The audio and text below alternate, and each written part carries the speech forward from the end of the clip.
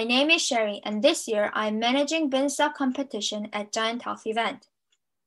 We welcome everyone participating and attending the event. First, I would like to briefly introduce the competition. Beanstalk is an international healthcare technology startup competition for prizes. Applicants who qualify the standards are invited to pitch their solutions in front of Precious Judge Panel and the entire health and technology ecosystem. Looking at our agenda, we have 10 pitchers who will present their innovative solutions live or via pre-recorded videos. After each pitch, there will be two to three minutes for judges to ask questions. There will also be three speeches from our sponsors. The first speech is right after the introduction video and will be done by GJE, our main sponsor of Giant and Beanstalk event. The second speech is right after the fifth pitch and will be done by Granted Consultancy. After all 10 pitches from startups, there will be the last sponsor speech from Barclays. At 11.15, judges will have time to organize their assessment score. Then Adam Shaw, our MC, will finally announce the winners at 11.45. The awards are given based on the business stages. We have three business stages. Pollen indicates startups with an early prototype for testing. Bean are startups ready for paying users or patient trials. Lastly, startups in sprout stage have a functioning product and deployed with live customers. They are ready to scale. We have three startups in pollen stage, three startups in bean stage, and four startups in sprout stage who will compete in each business stage. The awards are given to one overall winner, one pollen winner, one bean winner, and one sprout winner. We officially named our overall winner awards after Michael Seres, the founder of 11 Health and Technologies. 11 Health and Technologies is the world's first smart care platform for patients with long-term chronic conditions to medical bags. More detailed video of him will be played during Beanstalk event to honor him.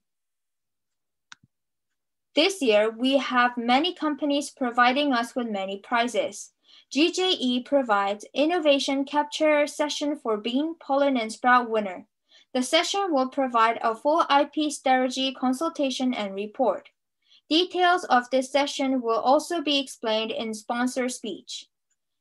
In addition, all pitchers get IP strategy telephone consultations. The Heart Guide offers first the detailed review of pitch and executive summary to overall winner.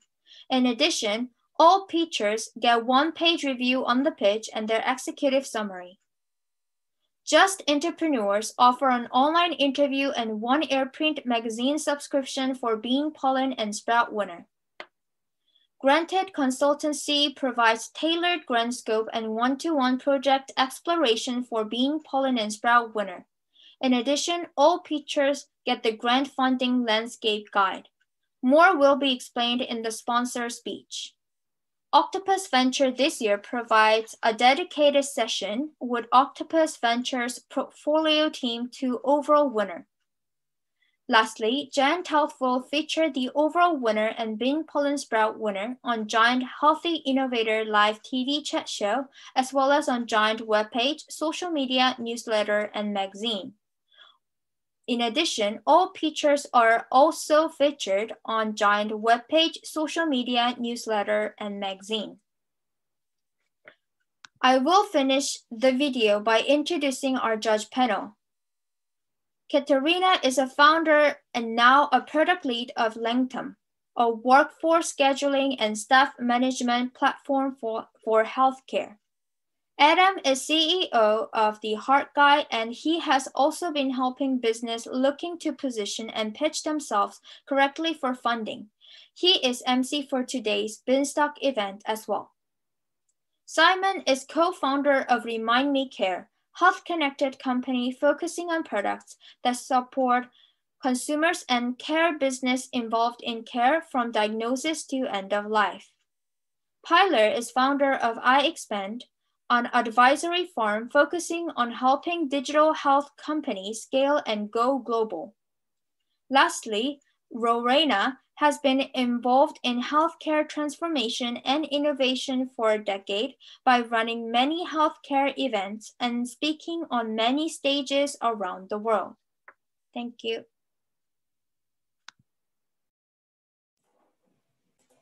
Hello, and a huge welcome from GJE to everyone out there joining us today for the Beanstalks competition. It's our absolute pleasure to be sponsoring the competition again this year and offering prizes to some of the winners. After chairing the competition last year and seeing the caliber of companies presenting, I'm excited for what we have in store today, and particularly now that the competition is reaching even more companies now that it's online. To briefly introduce myself and GJE, my name is Jack Severs. I'm a UK and European patent attorney at GJE, a specialist intellectual property law firm based here in London and in Munich. I lead our specialist medtech and health tech groups, and we specialize in working with health tech companies of all sizes to advise them in developing an IP strategy to protect their innovation and gain the maximum commercial value from it. Now, I've worked with enough founders to know that IP is not always top of their list in terms of considerations in the day to day running of their business. However, I'm also aware there's lots of misconceptions out there about IP and how to use it effectively. So, what I'm going to do today is try to address some of these misconceptions and explain why IP strategy is more than simply registering a few IP rights, and ultimately answer the question why is IP strategy important to health tech startups?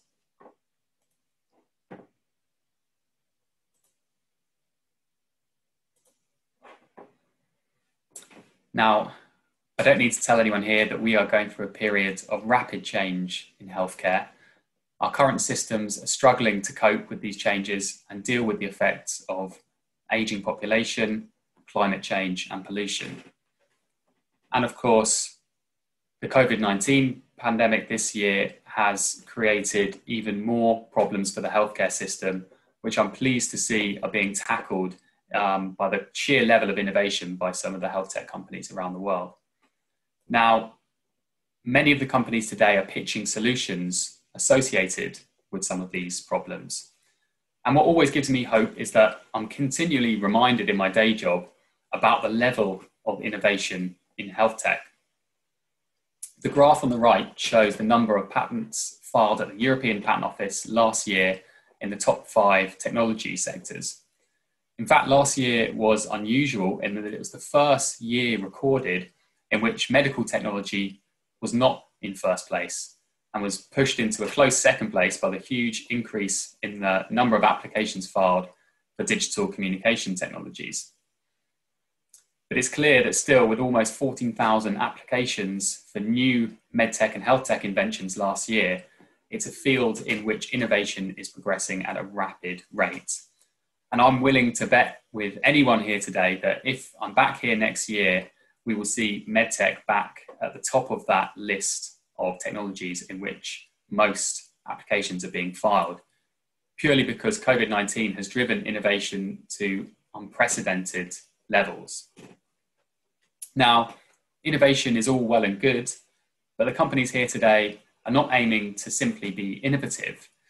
Their task is to harness that innovation to actually provide some commercial value to attract investment, grow their companies, so that they can even make even more of an impact in solving those problems. And this is where IP strategy comes in.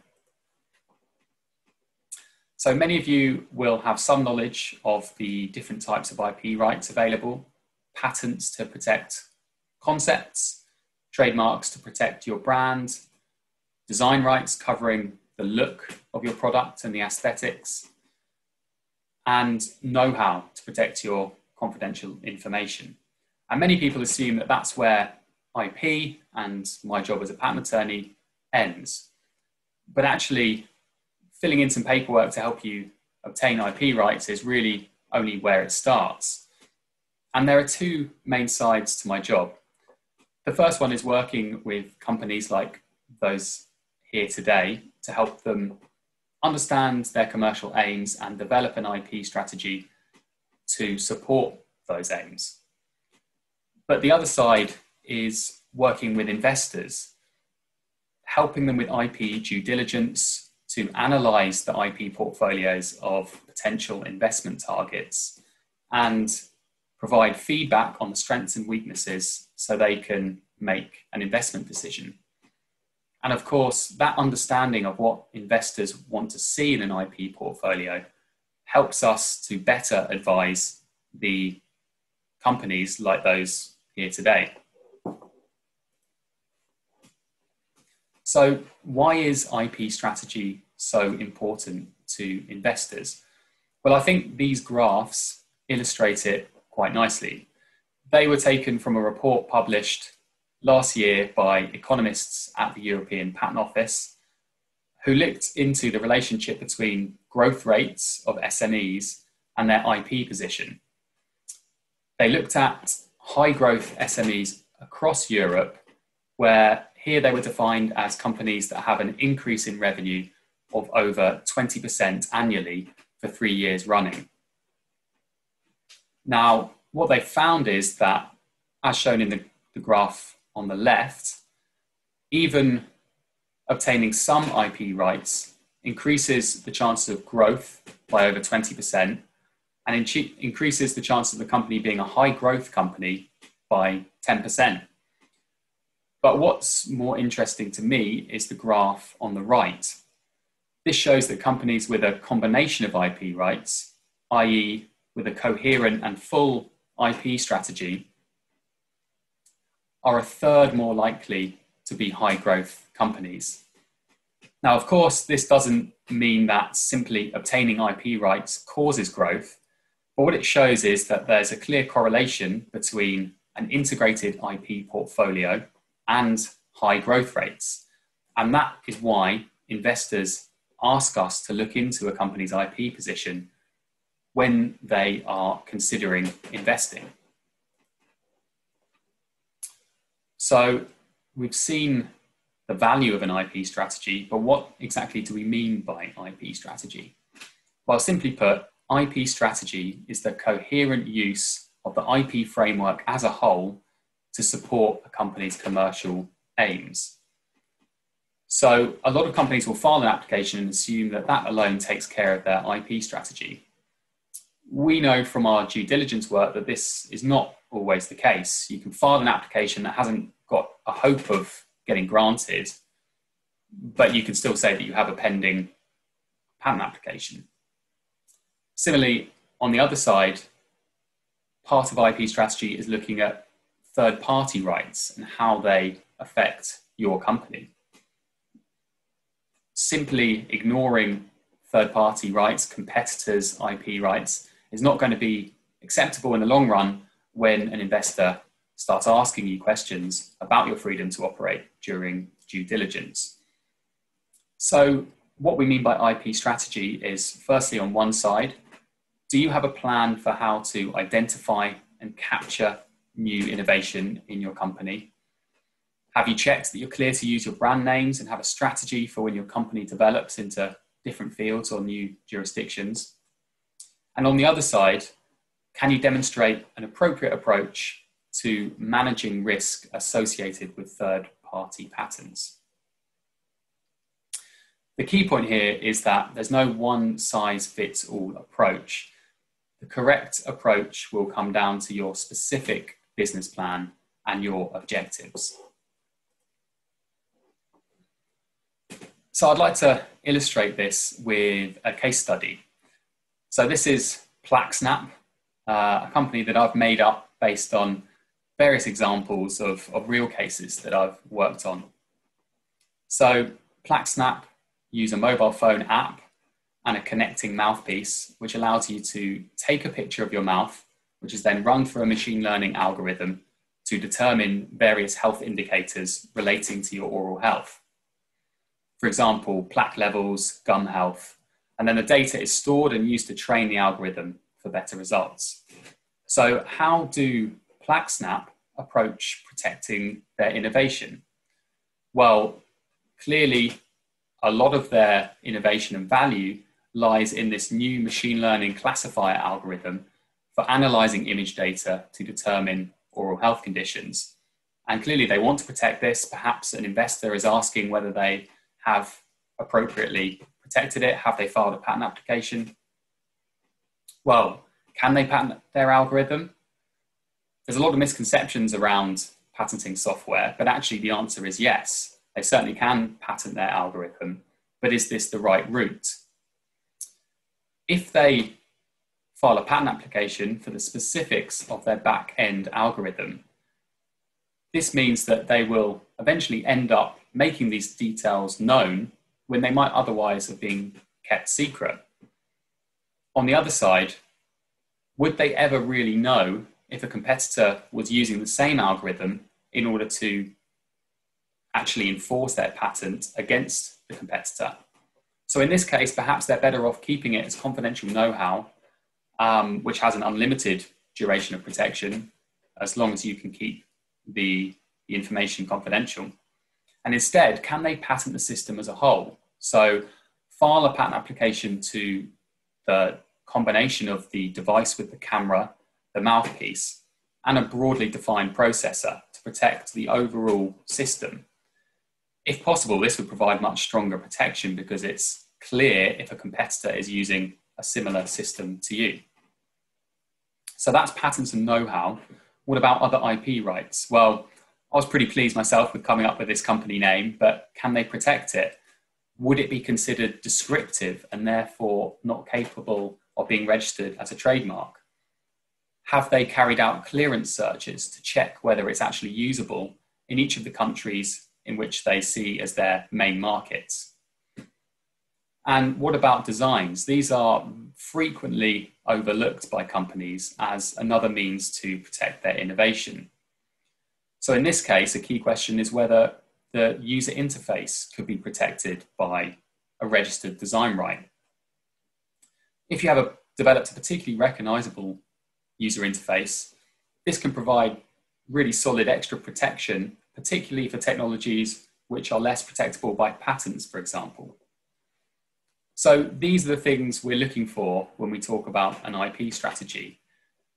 Has the company used the full IP framework to correctly and effectively protect their innovation and the direction in which their innovation is moving in the future? These are the kind of things that an investor will look for when we're carrying out IP due diligence. And so thinking about these earlier can help you to make sure the company is investment ready and ultimately drive growth to allow you to better focus on the problem, problems that you want, you want to solve in the healthcare system. So, to return to my original question, why is IP strategy important to health tech startups? The ultimate answer is it's difficult to derive value from your innovation and achieve growth without a credible IP strategy. So, just to finish, these are the three practical tips that I would give you um, to summarize what I've said today. Firstly, there's no one size fits all strategy. You need to develop a strategy that fits your business plan. Which pro- aspects of your product do you need to protect?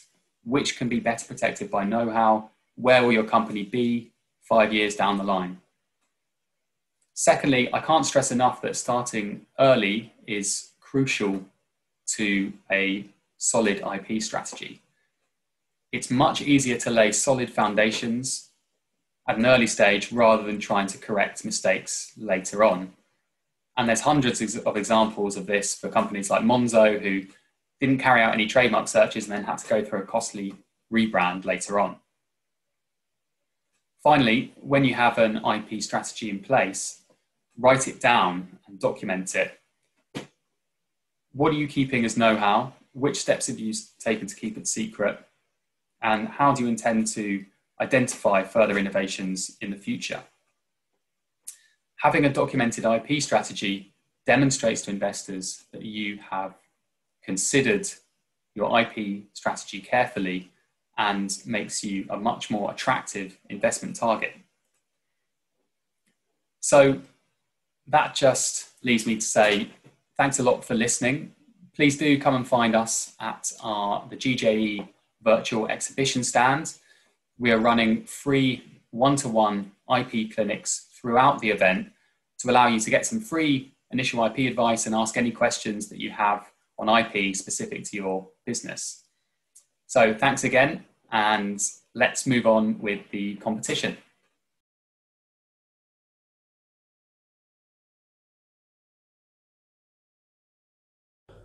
My name is Harro Stokman.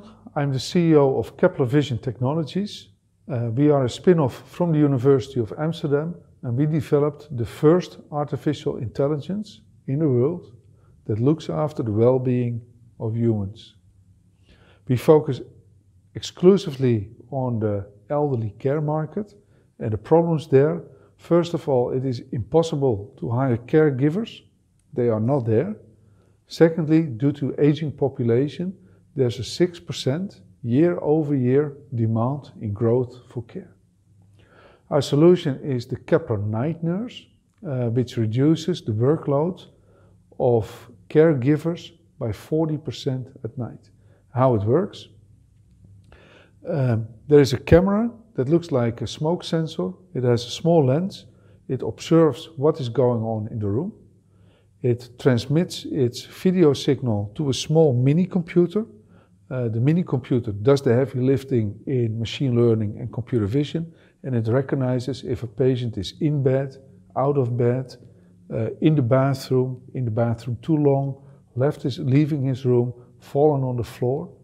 And if so, if something goes wrong, and only if something goes wrong, we send a message to the nurse call system to get uh, the attention of the nurse.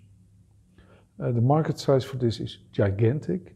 Um, if we focus only on the elderly care, so ignoring um, mental care, home care, uh, hospitals, uh, the market size is 44 million beds worldwide.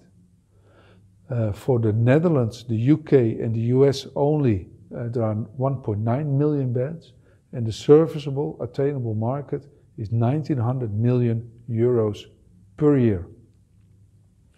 Uh, our team, we are now with 15. This is our third year. We have uh, seven PhDs. Team is pretty much complete, but we are actively looking for extra sales. Um, previous exits by team members have been to Union Park Capital and to Qualcomm, and we licensed the previous patent portfolio to Microsoft, Spotify, and RPX. Our revenue uh, model is very simple. We have a recurring licensing model, software as a service, and we charge per video stream per month. Our key expenses, uh, right now, they are pretty much evenly divided over four sources: personnel, cost of sales, hardware, and managed services. But as we will grow, um, the main key expenses will be the cost of sales and the cloud costs and the hardware costs. Uh, competitive advantages. First of all, we are a university spin-off which provides us access to talent. We raised over 4 million in funding. Uh, we have all the certifications in place to be able to process patient data. We have two patents awarded and we have eight applications pending. We collected so much training data by now that uh, we have one false alarm per 186 days per patient, which is uh, incredible. Uh, we are registered as a medical device now in Europe, and we have signed our first multi-year recurring license agreement. That's Kepler Vision. Thank you very much.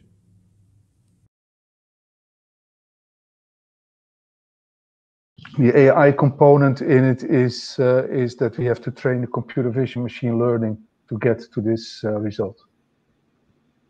Cost implication on that? Is it much more expensive than the other on the market? No, it is uh, it is a lot uh, cheaper even because the uh, uh, the existing domotica can uh, be replaced. In general, there are four or five different uh, domotica things like bed, bed sensors, bed mats, uh, floor sensors, door sensors. These can all go. Cost implication on that? Is it much more expensive? and how difficult is it to install this in a care home? Like, how long does it take to get it set up and get them started with it? We have a demo that we can give, that we can set up within 10 minutes. Uh, in the end, uh, the placement of the optical sensors is the most uh, time consuming part. So for that, uh, for every room, this takes about uh, 30 minutes. And what's the biggest pushback you get when you're trying to sell this to a care home? Why do people not want to buy this? Um, Or what are they worried about? Yeah, yeah. So the uh, personnel, strangely enough, is uh, worried about uh, losing their jobs. Um, the uh, nurses uh, may not like it because they like to keep things as they are. Um, other than that, uh, the usually the, the the chief financial officer is our best friend. Presumably, it integrates through an API with uh, with care planning software? Yes, it does. It, we integrate with the nurse call system. Any issues with um, sort of global exp- expansion in terms of, for example, HIPAA in the US? What was the last question? Any issues with regard to regulatory compliance, for example? Yeah. Uh, so we have to deal with the regulations in uh, Europe, and I think they are they will be slightly different in the US, uh, but I assume we assume that in in Europe they are more strict than in the US. But you know, we we, we, we, we have we have jumped uh, through a number of. I don't know if that is a good uh, expression, but you know, we were we had to get uh, ISO certification for the Netherlands, uh, NEN certification. We also registered as a medical device in Europe. Uh, so you know, we, we, we can deal with that. Whatever, whatever whatever comes up. okay. I believe that's probably our two minutes um, used up there, folks. Thanks very much, Harro. Nice job there, and it looks like you've achieved some phenomenal stuff there. And uh, regardless what happens today, I, I'm sure that you're going to fly with that. It looks great. Thank you, Adam. All right. Bye, everyone. Bye, judges. Thank you. Take care. Right. Thanks very much. Okay, the next uh, uh, our next one up is uh, Patch AI, I believe. Do we have the video for that or the presentation ready? Right here, Adam. Um, I mean, we decided to do it live anyway, so here I am, representative of Patch AI, Kumara Palanivel. So let me share my screen with you guys very fast. Okay, so I just need confirmation that everyone can see my screen. Yeah. Okay, perfect. Uh, so without further ado, uh, my name is Kumar Palanivel, co-founder and the chief business development officer at Patch AI. And what we've done is we created the first virtual assistant for the purpose of patient engagement within clinical trials as well as routine care. 15 years, $2 billion. That is how long it takes to get a new drug to the market. But it's also true that a lot of evidence is needed to be generated in order to get a new drug to the market and clinical tri- trials need to be conducted.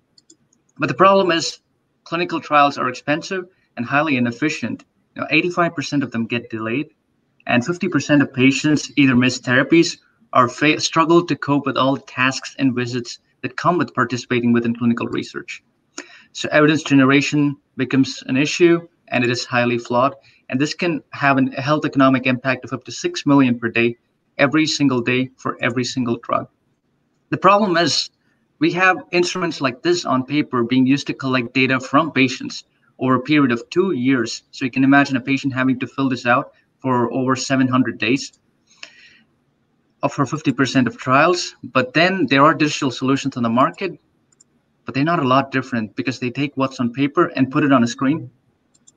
No wonder patient engagement is super, super low and while there are a lot of market leaders who managed to like you know introduce their solutions in the market we're trying to do something different because we envisioned a better way because we decided to make it conversational which is more adaptive and predictive And eventually, we try to make it more human, but also something that can be customized, which makes us much, much better in terms of project delivery compared to our competitors.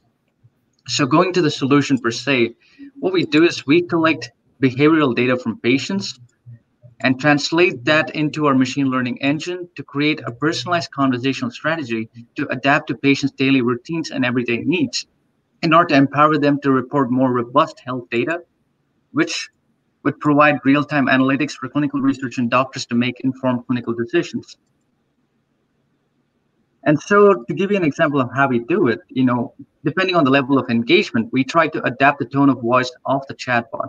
You know, if the level of engagement is high, we try to motivate the patients and give them more achievement badges, so to speak. Slightly lower, and we try to get them back on track, even though they've been doing pretty well of late. And once engagement gets really low, we try to take a more empathetic manner to how we handle patient engagement and try to push out more notifications to get the patients back on track. So PatchAI's value proposition hinges on patient engagement from clinical research all the way to clinical practice by offering a modular conversational AI platform which personalizes how data is collected from patients, thus truly embracing the doctrine of personalized medicine. So it could either be that we can help patients report symptoms in real time, but also get reminders for all the therapies that they're required to take. But also, in the wake of the COVID pandemic, we've introduced video visits so that they can engage with their healthcare professionals in real time. But most importantly, also gather important data from connected devices and wearables and introduce elements such as gamification to improve overall patient experience. But does PatchAI really engage? Because with paper solutions, we get an average compliance of 11%. With other standard solutions, we get 80%. PatchAI produces 95% daily compliance with therapy remind therapy plans, as well as uh, daily questionnaires and diaries. And how have we proven this success so far? So our recent success story comes with Roche, where we deploy the first digital solution in Italy for all oncology patients on a nationwide level. And we also helped Novartis launch the first ever digital trial in Italy through for a breakthrough therapy within neuroscience. And we want to use this momentum working with two of the three top pharma companies in the world, having generated half a million in revenue in 2020 to achieve more scalability in product, to go in for a Series A, but eventually the scope of becoming a digital therapeutic in the long term as well. So far, an average of 28, almost 30,000 new products per year, almost 7 billion in value. We hope to get just 80 in five years to meet our required targets and get 32 million in revenues. So we have a current ongoing round, which is a bridge capital before the series A of 1.7 million, of which 100% has been committed. And we have a, a team of around 20 superstars comprising doctors, research nurses, and nurse directors backed by a team of very talented business development and product development software engineers who are working tirelessly to create the best product possible. So join us today to revolutionize clinical research and care pathways through patient engagement at every step. Thank you. Um, as far as engagement with your app, I mean, how much um, traction are you getting with that at the moment? I mean, with the patients per se, uh, we have about a cohort of 100 to 200 patients using the app from our first clinical trial with Novartis, which we went live earlier this year. And I'm happy to report that we have an average of daily compliance of 95% with uh, reporting therapy intake, as well as uh, you know filling out daily diaries, as well as the protocol mandated pre-oral questionnaires. And this is a small sample size, but we're trying to build upon this metrics. And also, we have 100% retention so far, especially in the wake of the COVID pandemic. Great, thank you. Hmm. I also have a question. Uh, Kumara, congratulations for your product. Um, given that you are so close to the patient with what you're doing, uh, I appreciate you have nurses as experts um, in your leading team. What about patients? Do you think to bring uh, patients on your leading team as well? Of course, it's why we actually partner with a lot of patient associations so that for every single feature we release, we sit down with the patient experts and advocates to sort of help them. I mean, for them to help us understand if every new feature we deploy is of actual value to patients. So we conduct a lot of UATs, keep continuously continue getting feedback from patients and patient experts to ensure that we're not just a patient-centric solution on paper, but then we actually have the backing from the experts themselves in terms of what patients would love to use. And then your second uh, quick one, you mentioned that you would like to become a digital therapeutic. Mm-hmm. Uh, any ideas you'd like to share with us about those plans? Sure. So on top of this ongoing collaboration with Roche in Italy, we are trying to focus on this use case for oncology, where we realized, you know, the purpose of the solution is to sort of personalize it to patients' needs and sort of improve their experience and indirectly, you know, empowering them to report more data, take their therapies on time, and trying to demonstrate an improvement in their overall clinical outcomes. So we're slowly building the clinical validation roadmap for becoming a DTX, and we planned a couple of pilots through collaborations with EIT Health and other organizations to sort of do small, you know, living uh, test beds and demonstrate some metrics before we decide to launch the DTX program. Can you compete with the likes of Medidata? Um, I mean, do you have anything that is IPable or unique that wouldn't stop them just coming in and saying, do you know what, let's personalize ourselves? That's a great question indeed. And what we noticed with all the market leaders is that they have uh, they don't have like shrink wrapped or configurable solutions, but rather they have standard solutions that they provide to global CROs and pharma companies across the world at very high prices. So we're trying to overcome the barrier that they've experienced in Europe, especially because of the stringent regulations, and trying to use not only our local presence, but also the fact that we offer our solutions at cheaper prices but that we're also capable of offering different modules according to the needs of every single trial. So having worked with Novartis and Roche, we're trying to do the system where we're trying to upsell through our collaborations with them and subsequent CROs to get more presence in the European market before you know directly jumping into the North American market, which is just swimming with sharks at the moment. That's great. I think uh, we're going to have to curtail it there, Kumar. But great job. Um, nice presentation and and a really good idea as well. Thank you. Thank you so much. Okay, so next next we have lined up um, Chin. Have we got Chin ready to uh, present to us? Hi, yes, good morning, everyone. Um, so let me share my screen. My name is Shayo Wija. Uh, not actually uh, Shokba. I also have a twin brother who's working with us on the team, and I wasn't able to create a separate profile. Um, and today I'm going to be telling you about uh, CHIN, uh, the Critical Healthcare Information Integration Network, a platform we've been working on over the past several months um, that we intend to be a bridge between disconnected healthcare providers and dependable medical information. Um, so let's start with a, a brief hypothetical. Um, let's take this hypothetical community health worker um, who's recently trained and is now working in, in her area and doing ground. Um, she heard from a colleague about a Lassa fever outbreak that was uh, occurring elsewhere in the country, but is yet to, to impact their area. And because it's not prevalent in their area and because she's completely offline, uh, she has no access to up-to-date federal guidelines or other disease information that might be found via online resources. Um, as she's making her rounds for that day, she comes across a patient uh, presenting with fever, weakness, um, and a strange facial pain. And thinking that it might be Lassa fever, she'd like to get more current information about the disease, but has nowhere to turn. Uh, so this is a hypothetical situation that could face many real community health workers throughout uh, the African continent. Uh, for those who don't know, community health workers are a crucial part of African health systems. It's estimated that uh, they serve nearly 700 million people throughout the continent and often serve as the first uh, point of entry for many people into the healthcare system uh, by providing a wide variety of very important uh, health interventions. Uh, typically, when a community health worker is entering the field, they undergo a one-time training that could last on the order of weeks to months. Um, and that's then followed by a series of intermittent though important uh, refresher trainings. Um, it's been demonstrated that in the absence of those refresher trainings, um, there could be issues with knowledge attrition and skill attrition. Um, however, those refresher trainings and continually bringing in people um, for in via expenses such as transportation and meals, supplies, honorariums, etc., could become quite costly. And it's been shown that um, with the implementation of a blended training model combining in-person and electronic training, uh, there could be savings of up to 42% on total cost.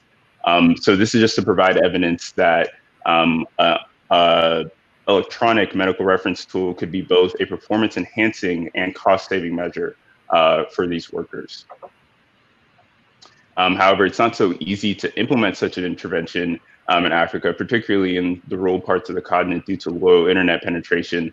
Uh, but we could turn to uh, alternative connections or alternative uh, technologies, um, such as SIM connections, which have much higher penetrance.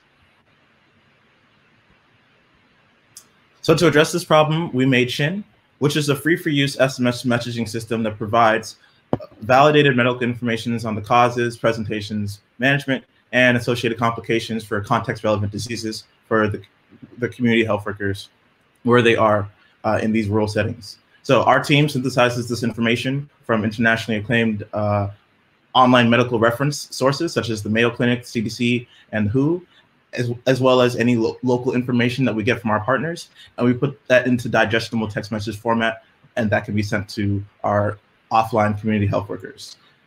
All, of course, with the goal of providing higher quality of care. So the way it works is that the user would register and then use the chatbot. The chatbot connected via Twilio accesses our backend in Firebase, and without the without the community health worker needing to access Wi-Fi, they can get any of the information they need that's already stored on our databases.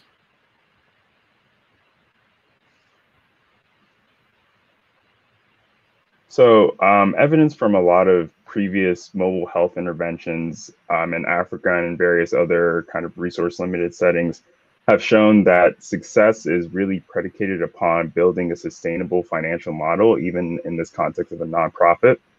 So as such, we've based our model on a structure that creates value for each of the key stakeholders in the process. So private and corporate donors have improved marketability in these lower resource settings through a tax exempt donation process. Um, mobile network operators can expand their network or their market reach through um, ensuring more continuous service engagement from customers who might be less, I guess, want to try to um, engage with such service services.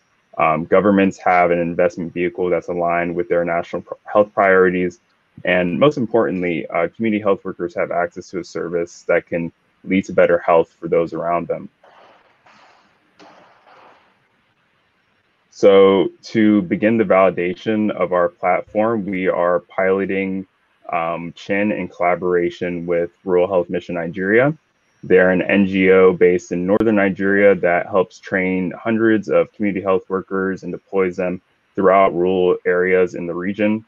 Um, so starting next week, actually, we'll begin onboarding health workers onto our platform and investigating the impact that um, having ready access to reference information is having on their ability to provide the highest quality of care using uh, certain survey tools and assessment metrics that we've designed. So we are a team of Africans with a vested interest in supporting African health systems.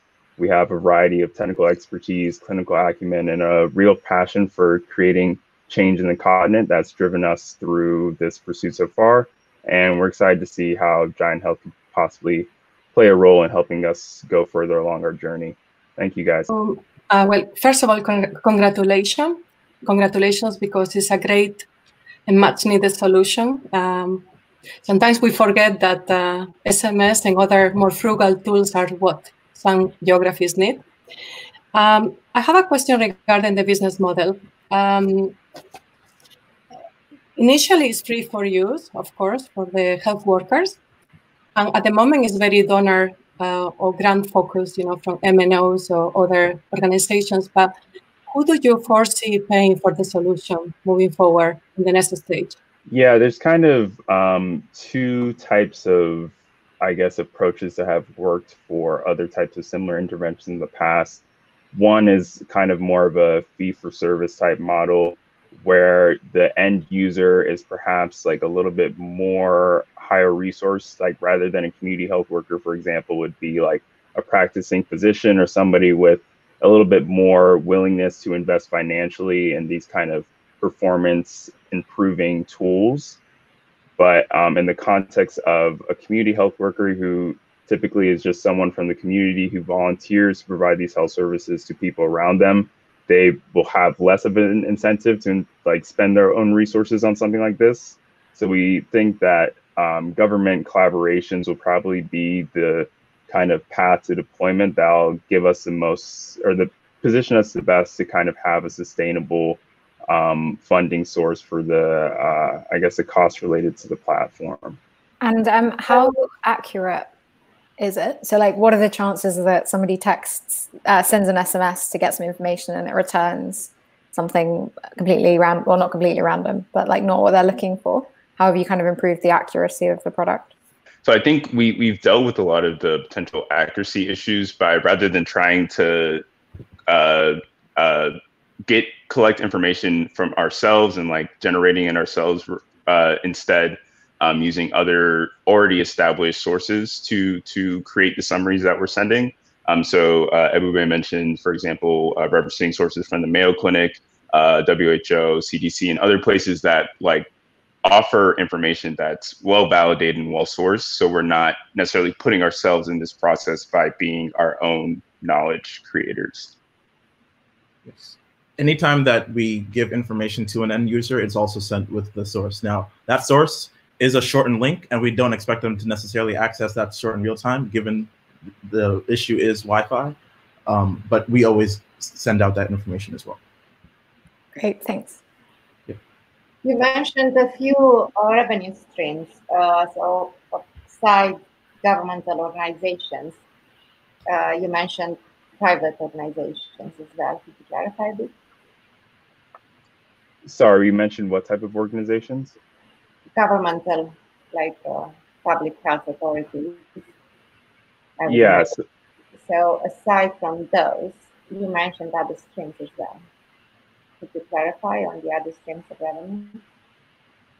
Yeah, so I mean, the two kind of um, like parties within the private sphere that I was considering are primarily like corporations with healthcare kind of objective and objective and interest then also the mobile network operators who um, oftentimes for these types of M health interventions will provide funding to some extent in order to increase the number of customers who are then um, kind of providing an additional kind of revenue stream for the mobile network operator themselves. So, in return for uh, kind of spreading their or largening their customer pool by reaching these perhaps harder to reach markets, um, they the operators themselves will help support your um, initiative, or in this case, our um, mobile health initiative. Understand. Do you have any feedback from the private clients? At the moment, no. It's pretty much just um, kind of preliminary conversations that we've had with a number of different stakeholders to get a sense of how we can create this kind of sustainable model, but we don't have any sort of uh, kind of specifics laid out at the moment. Really well done. I mean, that that's really ambitious what you're up to there, and obviously much needed. So thanks very much.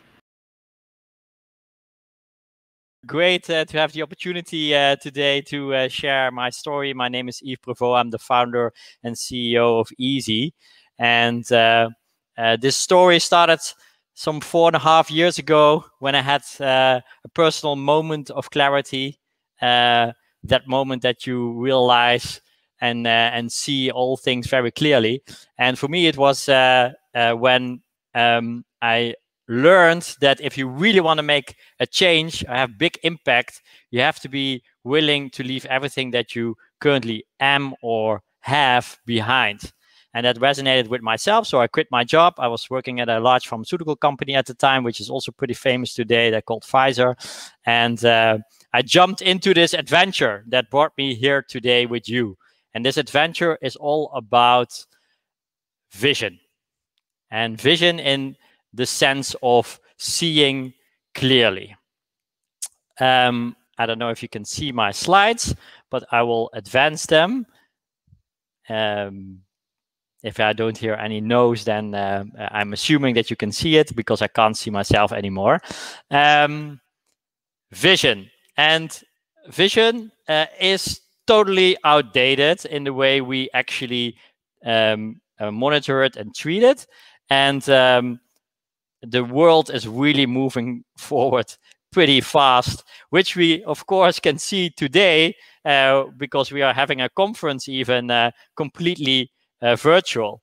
Um, and that requires um, a new approach. And uh, we are this new approach. We have developed um, a clinically proven online eye exam, which is really a medical grade technology. Um, so it's a, a, medical device that allows uh, patients and consumers to test their eyes at home and uh, for vision uh, providers to actually monitor their patients remotely um, uh, and do perform telemedicine. So how does it work? The only thing you need is actually all the things that you have already in front of you. A laptop and a smartphone, which I'm assuming you also have, and three meters or 10 feet of space. And then during the test, your remote control actually uh, functions as a uh, as a uh, your phone uh, functions as a remote control and on the screen images are displayed just like going to a regular eye test. The webcam that monitors the user during the test so making sure that he's at the right or she is at the right distance and the light conditions in the room are taken into account. And then after the test the results are sent to one of our optometrists who validates the results and can issue a prescription for eyewear that can be contacts or glasses, or uh, the results are sent to an ophthalmologist uh, in uh, the course of clinical practice. So, what makes us unique? Actually, three things. First, the state of the art technology. So, we use the latest and greatest in tech uh, that allows us to do um, an eye test reliably on any device through web-based technology. So we can be sure that uh, people uh, do a quality eye test. It doesn't matter what the laptop or the smartphone functionality is. It's infinitely scalable. Even today, we can handle millions of users, and it's easy to use. Our users rate uh, the experience of the test with a 4.3 out of 5. The second is probably even more uh, important is uh, it's a quality assured medical device. So uh, we are CE certified, uh, but also have a quality management system by ISO. And we are clinically proven uh, in terms of our accuracy. And then in terms of traction, this year was be was an was an amazing year for us because we could actually add a lot of value with our technology. We helped hospitals uh, performing remote uh, eye tests, uh, especially when they were in lockdown, and in this way, we definitely made uh, a lot of steps towards our vision, which is helping uh, uh, people with poor vision, which are 4.3 billion people around the world, to solve um, their problem. Uh, when it comes to um, um, uh, the traction, we can also split it in two ways. Uh, we are helping uh, eyewear companies to do a digital transformation. And we are partnering now with the biggest uh, retail company in the world, GrandVision, the biggest e-commerce player in Europe, Mister Spex, the fastest growing uh, omni-channel brand, Ace and Tate, and the largest health insurance company in the Netherlands. In ophthalmology, we are uh, starting a clinical trial for cataract patients in January with five of the leading centers in the ne Netherlands, Germany, and Austria. Uh, but we have uh, also started clinical trials in uveitis, children with myopia progression, and amblyopia. So, super proud where we are today. Uh, because uh, we are definitely uh, making some impact on our mission, which is to improve the lives of billions of people around the world with easy access to better vision and eye care. Thank you. Great job. Thanks very much. Okay, well, I'll, I'll, kick it off then. I mean, it, it looks like there's a lot of traction. Uh, the the question that I um, I have is, is there any equipment needed by the, the by the users? Is it just a laptop? Do they just flip open their laptop and and then they have access to this? Is that is that how it operates? That's exactly how it operates. Well, you need also a smartphone uh, because uh, uh, the the test will instruct you to uh, go, go to a three meter distance, and you have to be able to operate the test from there. But that's the only thing uh, you need: a laptop, a smartphone, and internet access. Great. So you mentioned that you had a great year, you know, with uh, Yeah. some good implementations. Congrats, it looks great. Uh, could you give us some of the feedback? Did you have any hiccups? Of course, we always have hiccups. Um, I think our biggest problem at the moment is that uh, we uh, we we are software medical device, so we uh, have quality and uh, reliability high uh, uh, in our priority list, and we can help people with refractive errors up to minus three and a half. So that's only 25% of the population, which is still a great solution, but we are more ambitious than that. Ambitious than that.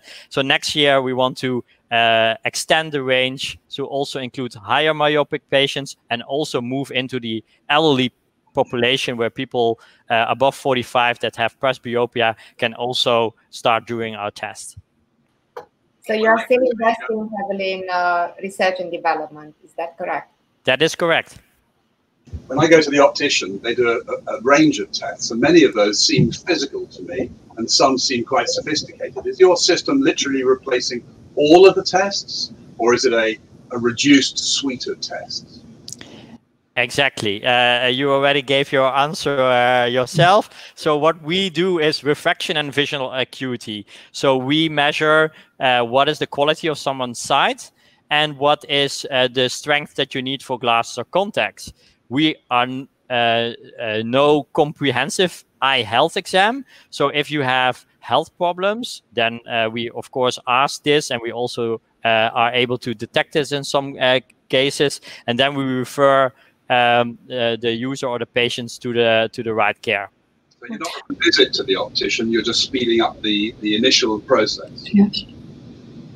Um, um, both. We also are replacing some of the visits uh, when it comes to, for example, um, um, just reordering uh, a pair of glasses. Um, and then uh, we just make sure that you have the right prescription because it can change from uh, prescription to prescription. And then if there are no healthcare problems, then uh, you can order your glasses uh, or contacts online. Can I have a quick question? Um, um, since you only do triage or digital front door um, activities, how how much would you have to integrate into the clinical systems on the other end, and what is the pathway to get there? Yes, uh, very good question. So uh, this is also in terms of hiccups, uh, uh maybe another bottleneck that we are facing because we are a very small company, of course, and uh, hospitals are pretty big and have uh, have a lot of other priorities. Um, so one way that we do this, we teamed up for with an electronic healthcare record uh, provider for ophthalmology clinics here in the Netherlands, and they integrated it uh, into their system and then sell it as a complete package uh, to uh, to eye clinics. That's one way to do it. The other way is also we work together with health insurance companies and see if they can help us speed up digitalization in the hospital and making this. Uh, um, yeah, making this uh, implementation go smoother because we do think there's a a, a, quite a big value add. We can save hospital visits. Uh, that's a saving of 200 uh, to 250 euros per visit. Um, and uh, for cataract patients uh, alone, we uh, expected we can halve the number of required visits. That's Thank great. You. Thanks very much. Um, nice presentation. Great idea as well. So next in line, we've got Sellafield Solutions. Hi there, my name is Abdullah Rahim. I'll be presenting the MedTech pitch for Sellafield Solution. Here is a scenario. I'm a young man in a developing country, say Nigeria for instance. I'm working in 9 to 10 hour shifts daily, an average earner, and I have little time for anything else. Then I fall ill. To access care, I must go to a hospital wait in line for about an hour to see a medical doctor. That affects my working hours. There are more medical doctors out there. However, with 40% of them unemployed, I must make do with what I find in the hospital. I have to visit a particular facility where my medical records are stored because no other facilities has them. This scenario illustrates the basic challenges faced by people in many developing countries in accessing medical care.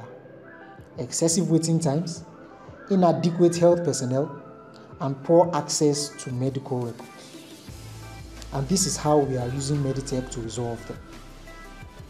Meditech, as a healthcare mobile platform, efficiently schedules meetings between clients and medical personnel, eliminating waiting times. The platform collects and validates the medical licenses of healthcare personnel to ensure that there are more of them available to provide health services, hence creating jobs.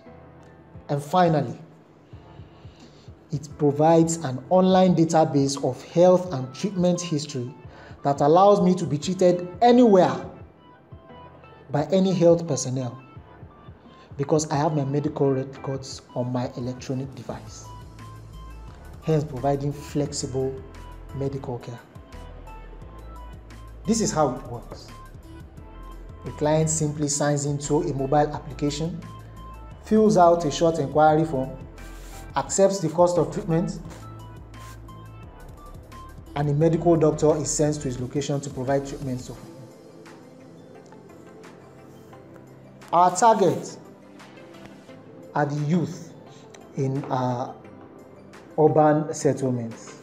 We are looking at uh, people between the ages of 25 and 65 years because these people are these people make up the bulk of those in the formal sector and are more open to the use of technology and innovations like this.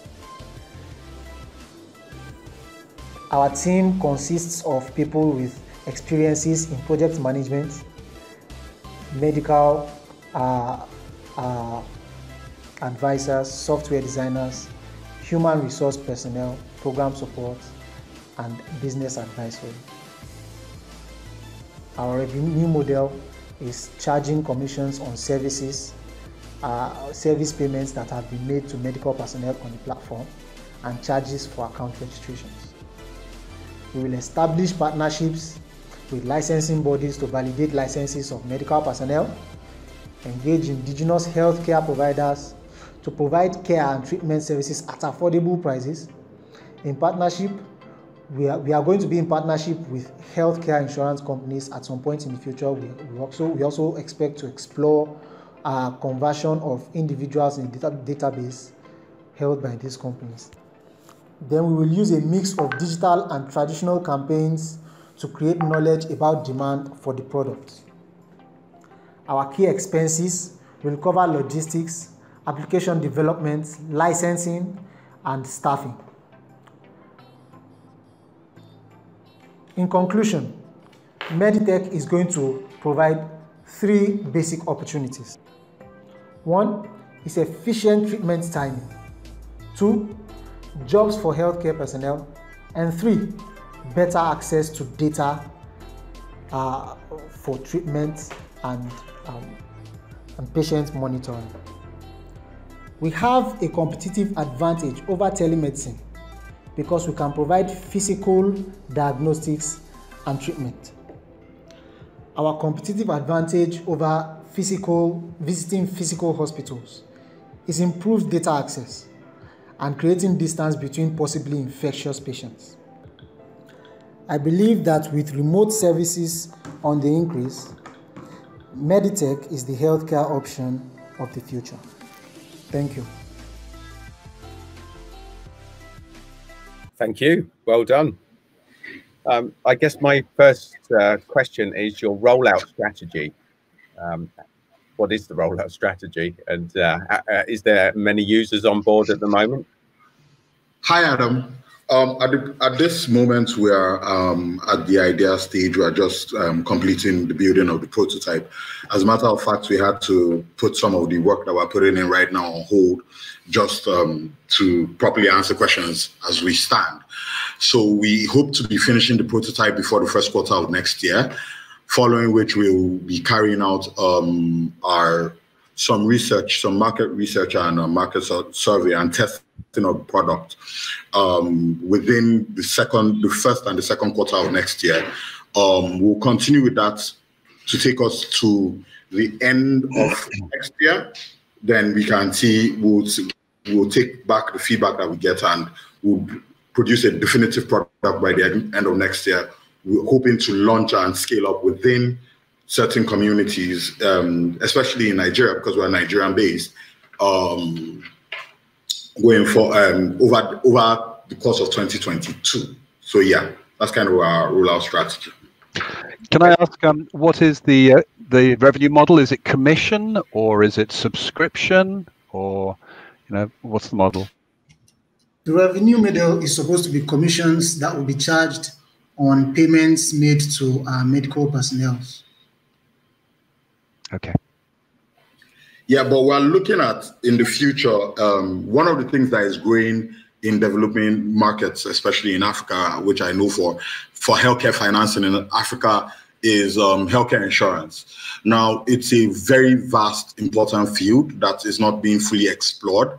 And we're seeing this as an opportunity to explore the um, essentially the opportunities for healthcare financing in, in Africa. Um, as of today, less than 20% of um, people who live in Nigeria, for example, or as a matter of fact, in sub-Saharan Africa, have access to um, healthcare insurance. Um, really because of geographic locations, really because of other small challenges that can be that can be overcome. We're hoping to use tech, the tech systems to overcome these barriers. So this is a first phase that we're hoping to expand on in future. Got a, I got a good question on the on the go-to-market model, if I may. And I appreciate that you are still in the polling state, but um, um, typically your solution will be focused on, you know, young or well be, you know, well uh, well-to-do population from big city centers like Abuja. Yeah. But, um, but obviously in Nigeria, there is a huge capacity gap there are not enough doctors or clinicians for the population. So I was wondering um, if you are thinking of pivoting for the rest of the country in the future with services that would be web-based or as a proper telehealth platform because of that. Instead of making the appointments with real doctors, maybe triaging or, or providing some services for those places where there are not doctors to see. Um, Yes, it, does seem like if I'm saying yes to everything that, but yes, it's something that we thought about. It's something that is in development stages. We understand that there might be burnout of because really most solutions in Nigeria are focused at people at the same people, right? So what we're looking at is that in long term, when we're able to consolidate, then we can be we can use it as a pivot to enter into other markets. We can go to um, remote communities, in a, for example, in Cameroon, and provide them healthcare services. It might not be the same model that we're using today, but down the line in the future, when we've explored the market, what is most important to us is knowing that we, we knowing what is on ground because there's a large paucity of data. There's almost no data anywhere. So we want to know what is happening, get a true representation of what is happening before we pile things on the present strategy. We can use this as a foundation. Then we can add on um, insurance schemes. Then we can add on community medicine programs that amplify the small number of medical practitioners that we have to reach hard to reach areas using tech solutions. So yes, it's something that we have thought of. Thank That's you. great. Thanks, David. We're going to have to move on now. Um, we've got a talk, I think, by Paul Gordon next as an interlude um, while we have a little chat about the, the process so far. Okay. Michael was my friend for 20 years, and this is my story about the relationship, the special relationship that he and I had. When we first met, um, it was through our kids. Our kids went to the same school. We've got three children, more or less exactly the same age, and our wives have become great friends. And certainly for the first um, couple of years of, of our friendship, it was mainly around the subject of football and politics and, and increasingly business. Um, Michael at the time was a licensing agent and a really good one, and was doing some great work for some global brands, Juventus. Um, in, on, the, on the toy side, he did a lot of work for Disney and McDonald's, um, and was really, really exceptionally good at it, um, and would have been would would have created a phenomenal global licensing business. But um, illness was always there, um, and um, and often got in the way of some of the some of the great um, opportunities that Michael had presented um, to him. Um, but what it did do, this particular phase of his life, taught him about how you manufacture, um, because he manufactured um, uh, toys in China, and of course, as we know, that was particularly useful in the years to come. As I say, Michael Michael was often ill, and our friendship was was uh, typified by quite often him being around, and then quite often not being around. Um, so um, that culminated in in um, his um, uh, long long period of um, of hospitalisation at UCH, and I'd go and see him three or four times a week, um, and we chat, and we talked about business, and we said, wouldn't it be great if we could end up doing something together? He was always he was always pretty prophetic in in his uh, forecasting. Michael's transplant changed him. Um, it, it, it, it, it was almost like um, a sense that he needed to do something meaningful with his life, and he talked about how. Um, rather like Holocaust survivors who were who, who often feel that they were spared to do something, he felt that um, he was spared to do something, and that was the genesis for Eleven Health. Um, so as we all know, he started in, he started Eleven Health, or what became Eleven Health, from his hospital bed by hacking a sensor to essentially turn um, dumb medical bags that hadn't changed for 40 years into smart um, medical bags.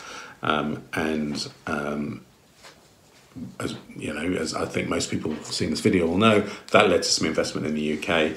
But the UK was tough; it was slow. The NHS didn't really understand the the opportunities presented. So Michael thought, wouldn't it be great to go um, and do something in, in the US to see if um, the business could scale more quickly, more rapidly there. Um, and that's what he did. I mean, not many people do that, but Michael did it. Um, and um, uh, he took the business to the US, um, and um, uh, and um, uh, I think we all know what happened. But I think bits perhaps that, that aren't known by everybody who's going to see this video are what happened in between. In the five years from Michael um, being pre-transplant to starting the business and for the business to begin to really motor, Michael Michael Michael struggled financially. Um, and a lot of people helped him, and, and he knew exactly who they were and, and had it all written down and was hoping that one day Eleven Health would be big enough for him to be able to thank um, everybody who helped and support him. Um, and um, uh, and he, he, would never have forgotten that. He always knew who helped him on the way. Um, from a personal perspective, in that time, Michael also taught my son Jack Jack's bar mitzvah, and then the result of that is Jack and um, Michael formed this incredibly tight bond. Um, Michael asked me to join him in the business um, uh, in um, July uh, 20, 2019, and uh, Nicole, myself, and Jack uh, moved over. Um, and um, the the plan was that we would spend minimum two years together. Literally, we were two streets away. Um, we'd see each other every day, um, and we'd have a great personal and professional experience helping grow and scale Eleven Health and helping realise the ambitions that Michael had for the business. It wasn't to be. Michael was sick for most of that time, and um, although I saw him in the evenings and many, many, many visits to see him in um, LA in hospital, um, we weren't able to spend that much time in the business together. Um, I think that what's what, what I'd say a little bit about the business moving forward is um, is that he's sown the seeds of what's going to be a fantastic um, business, a business that's about transforming patient care from the inside out, from the patient's needs and out. Um, my job is to be um, a part of that, to continue to be a part of that, to be part of the leadership of the business that's driving driving that vision forward. I take it terribly seriously. I often feel that Michael's on my shoulder, um, telling me what he wants me to do, um, and because we had such such a great tight bond, um, uh, it, it's kind of strange, really, and surreal. But but I can sense it. Um, and, and that's what we are about. We're about bringing together the vision that Michael had for the business. Um, the brand and promise that he and I wrote together was one patient at a time. One patient at a time is the articulation of why we exist to do what we do, which is to transform um, healthcare. Um, and and I take terribly seriously uh, my responsibilities to the business and into um, and in terms of honouring his legacy. Um, he was rather an extraordinary man in, in some of the press releases around um, uh, around his passing. I used an expression which seemed to be um, seemed to be, be quite well liked, which is he was the smallest giant I knew. Um, I think we all know what that means, um, but he truly was. Um, he was, in some ways, a genius, an overused term perhaps, but he really was a genius. And and uh, certainly, from me, from my perspective, um, my job is to kind of honour that and to make sure that we at Eleven Health and me as a lifelong friend never lose sight of what what we exist to do, which is to transform healthcare, um, particularly the area of healthcare that we're in um, because he never got the opportunity to bring that to fruition. Thank you.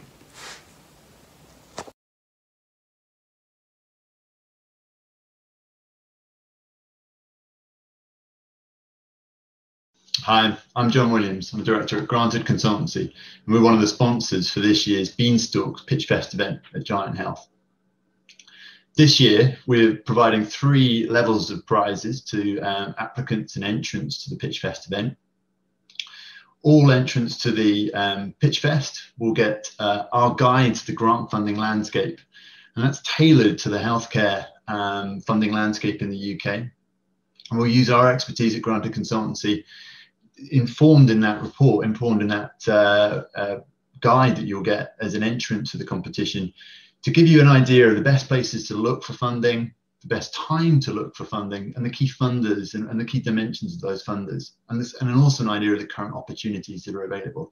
So that's the um, every entrant that applies to the Pitch Fest will get that from from from Granted Consultancy and that will go uh, to everyone post post event.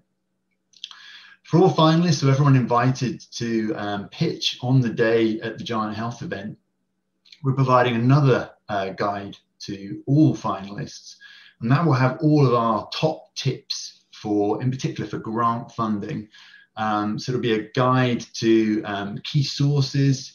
It's also a guide to, to, go through how to secure funding, some ideas of how, over the years in, in granted, uh, how we secured um, grant funding, non-dilutive funding uh, around innovation and particularly around healthcare for, for our um, for our clients and how you might be able to benefit from that. So that's something that we're putting into the pack for all the finalists uh, for the Pitch Fest event.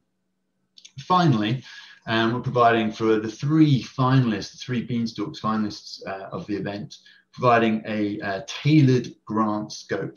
So for those, this is what we do um, with all um, of our clients at Granted Consultancy, is we'll essentially mimic um, uh, the, the initial engagement, but do so on a free, free, free of charge basis for those three finalists, we will provide a tailored grant scope.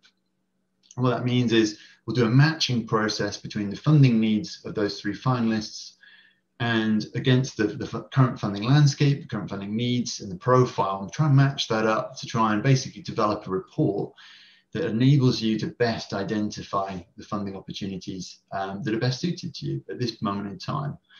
And in addition to that, as a follow-up uh, post that scoping exercise, we'll do a, a, one-to-one. So all the finalists, sorry, all the three uh, finalists from the um, Pitch Fest event will get a one-to-one with one of um, our senior team at Granted to go through that to make sure that we've understood the, the needs correctly and a playback and look at that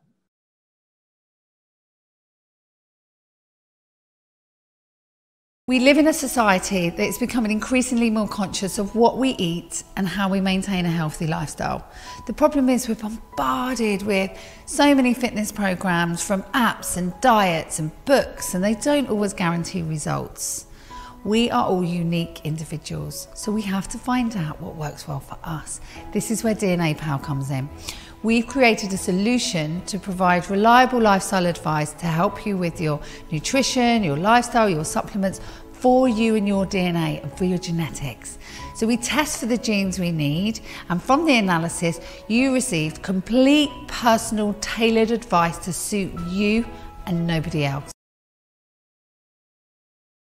I'm Kate Scott. I'm a registered nutritional therapist, nutrigenetics specialist, and co-founder of DNA Pal. When Vicky first approached me with the idea of DNA Pal, I didn't hesitate. I'd been developing and using DNA based diet and lifestyle plans for a few years already, and I saw the advantage immediately of being able to deliver these in a more dynamic digital way. We began designing the app, which includes a proprietary algorithm that calculates the exact diet and lifestyle recommendations for an individual based on a combination between their unique DNA and their current diet, lifestyle, and, and health factors like hours of sleep, alcohol intake, age, etc. This is a really exciting time because our company sits within three major growing trend areas.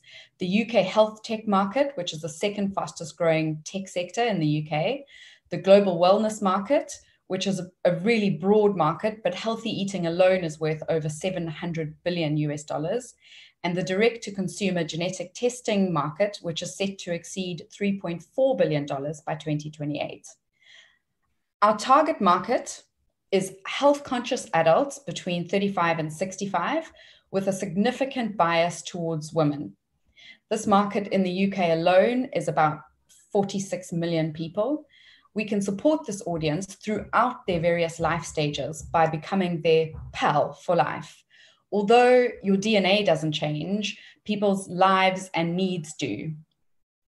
Our app also supports DNA data from two of the world's largest direct to consumer DNA testing providers, Ancestry.com and 23andMe, giving us a combined global addressable market of about 27 million users.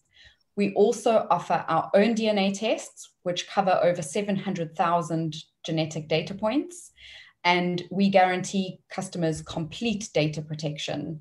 We destroy samples after processing, and we will never sell DNA data.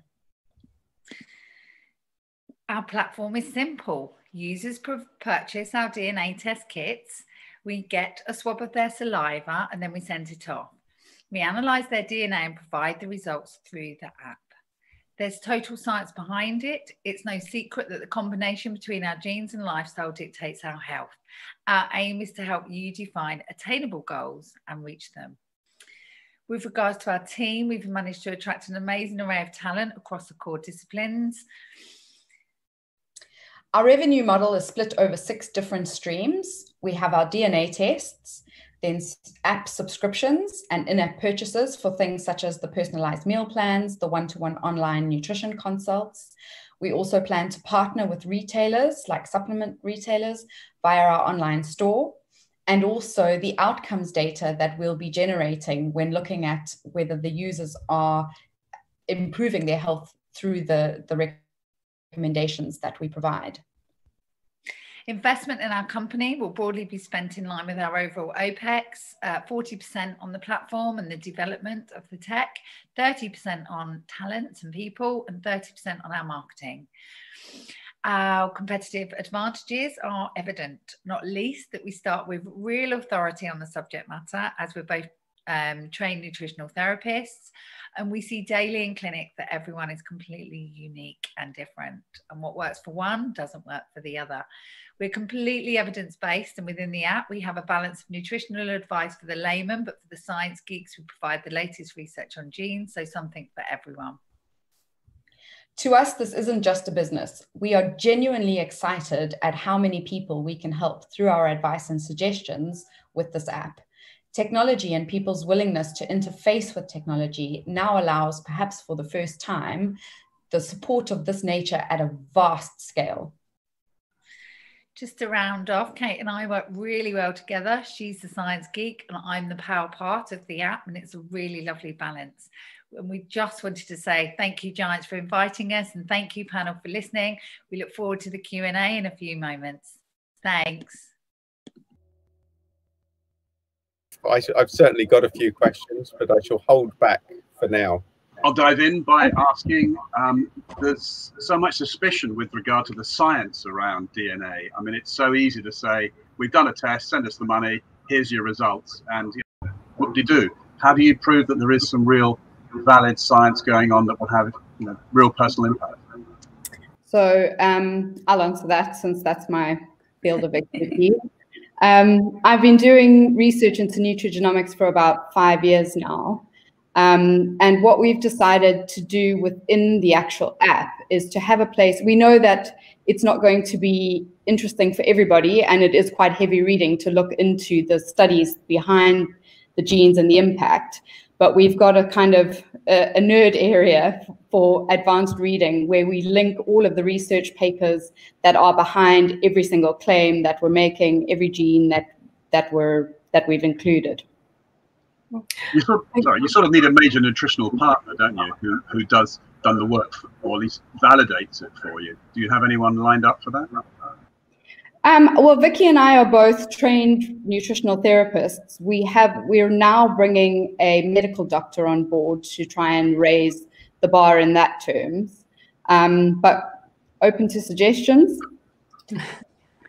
Hi, um, I'd like to ask you about um, the differentiating um, part of your product because there's quite a lot of nutrigenomics at the moment on the market. Yep. It's a double question. I mean, how do you differentiate yourself in a very busy market? And are you going to expand, let's say, into metabolomics or other areas to offer a more um, yeah. Okay, so again, I'll, I'll take that. Um, I think a lot of the companies that are currently on the market are uh, delivering the DNA interpretation in a much more static way. Um, so a lot of companies just do the PDF reporting. There are a few kind of interactive apps out there, but again, most of them really just give the this is your genetic predisposition and that's the information. We try to take it further by doing the okay, but so what do I do now? So we really want to handhold people because Vicky and I have actual clinical experience with knowing the, the kind of interventions to put in place, but also the fact that people are often not compliant or don't, you know, they want to be compliant, but they don't know the exact steps that they need to take in order to turn their health around. So it's about giving very, very relatable, easy information based on the DNA and the, an answer to kind of a more personalized question that we put together to be able to make it really easy and accessible for people to make those changes. Um, and that's also where we brought in the gamification um, because we want to make it fun for people. It can be, you know, it's quite dry knowledge in some ways. So we're trying to make it a bit fun and exciting and with the hand holding. So if it comes to asking people to cut down their caffeine or drinking more cups of water or getting more hours of sleep, we don't just say that. We we guide them as to how to do that. We give them little reminders. We might show them kind of th- nice things that they can use as replacements um, really making it relatable and easy for people. Yeah and i think i think you know sharing top tips recipes um, things that we know work in clinic on that one-to-one basis. And because we do work a lot on a one-to-one basis with clients and i have a clinic in harley street we see what works and what doesn't. And w- w- one thing we really see is we see that everybody is completely unique. And a supplement that we might suggest to one person we also see that doesn't necessarily suit the next person so for us, using the genetics part to really recognize the individuality and uniqueness of every person and working with their uniqueness and using our skills, like Kate said, our skills already in clinic, which we know what works and what doesn't work. Um, you know, and we see huge improvements. And not only that, where, where DNA Pal came from was it changed my life so much doing genetic testing and it was me stood in Tesco's one day when I had all these PDF reports and I was stood in the vegetable aisle and I just went, I, I don't care about the reports. I just want someone to tell me what to eat for my genetics to make my um, me healthier or, or better. And that's when I phoned Kate because Kate and I had studied together. And she, I went into cancer and Kate went into nutrigenomics. And I said, look, we've got the name let's do the where now. How to do it you know how to make those changes. And and that's where the challenges have come in because the gamification means that we can keep retention. We can actually help people make those changes and support them on a daily basis. We also have the ability um, to click through to one to one and pay for consultations. So they can speak to real people that are trained at our level Um, so again, it's not just all just tech, tech, tech. Because some people don't like bots and tech, and you know, some people want just a real person at times. So all of that is included as well into the app. I think that's actually a, a differentiator. fairly comprehensive answer. I'm going to have to curtail you now, uh, ladies, because we've run out of time on the Q and A. Oh, sorry. Um, but yeah, that, thank you, thank you for that um, very detailed explanation. Um, and, and great presentation too. Thank you. Good health relies on our understanding and clearly communicating what's going on when we become ill, but that isn't always possible. Most of the 500,000 plus people affected by long COVID have no way to recognise, record, and report the full range of their symptoms and concerns. Current limited medical frameworks are getting in the way, and diagnosing the individual symptoms and syndromes isn't really enough. Some symptoms of long COVID are obvious, yet others vary widely. They appear to be autoimmune, autonomic, or relate to post viral syndromes. There's an emerging link to conditions like mast cell activation disorder and ME. I've been living with mast cell activation disorder for a decade now, and for those like me, such medical exclusions are not a new problem. In the UK alone, 70,000 plus people risk poor health and outcomes due to under recognised autoimmunity, dysautonomia, and hidden disabilities. Another 2.5 million more have unaddressed comorbidities or complex issues. That's 30 million people across Europe and an estimated billion people worldwide. Up to now, significant cognitive, cultural, and all kinds of practical issues have combined with bias and exclusions to hide the problem and prevent the scale of it from becoming fully apparent. Missed diagnosis and misdiagnosis cost the NHS £4.3 billion in 2013, plus the loss in productivity and increased costs to the state. The incalculable cost of the COVID crisis has further highlighted these issues and the urgent critical need for action. The 43 new long COVID centres are most welcome, yet current indications are that they will not have a deep enough understanding or provided with the richness of data that they need, greatly limiting their value. And what's to be done for those others who are still being left out? Five years ago, we began to use our lived experience to research and develop tools to help those like us with hidden, complex disorders and conditions to better identify, track, and share our symptoms and concerns. Our first product is a screening questionnaire designed to help everyone uncover critical complex health issues, including those seen with post COVID. Responses to our 200 questions are used to build indicative charts and dashboards that people share with their GP, nurse, or care provider to aid further referrals and diagnosis. The information and insights we help people gather now will help everyone identify patterns and insights that are currently being missed, enable easier interpretation of symptoms now, and facilitate better diagnosis in the future. Even with vaccines on the horizon, we are all being asked to assess and manage our well-being and health from home. Many of us will need remote or family support, especially if we have learning disabilities and differences or cognitive issues. So our tailored support will ensure that everyone can participate and get the most out of doing so. These questions will also help mitigate the current lack and predicted ongoing shortage of suitable medical services, tests, and diagnostics. But for many of the conditions we're looking at, the current tests are often misleading or the problems don't show up in expected ways. Uncovering this missing, meaningful data within the context of our framework means that we can finally build much needed indicative and pre diagnostic tools and establish better pathways. Without these, our future machine learning and AI driven tools will remain biased and ineffective.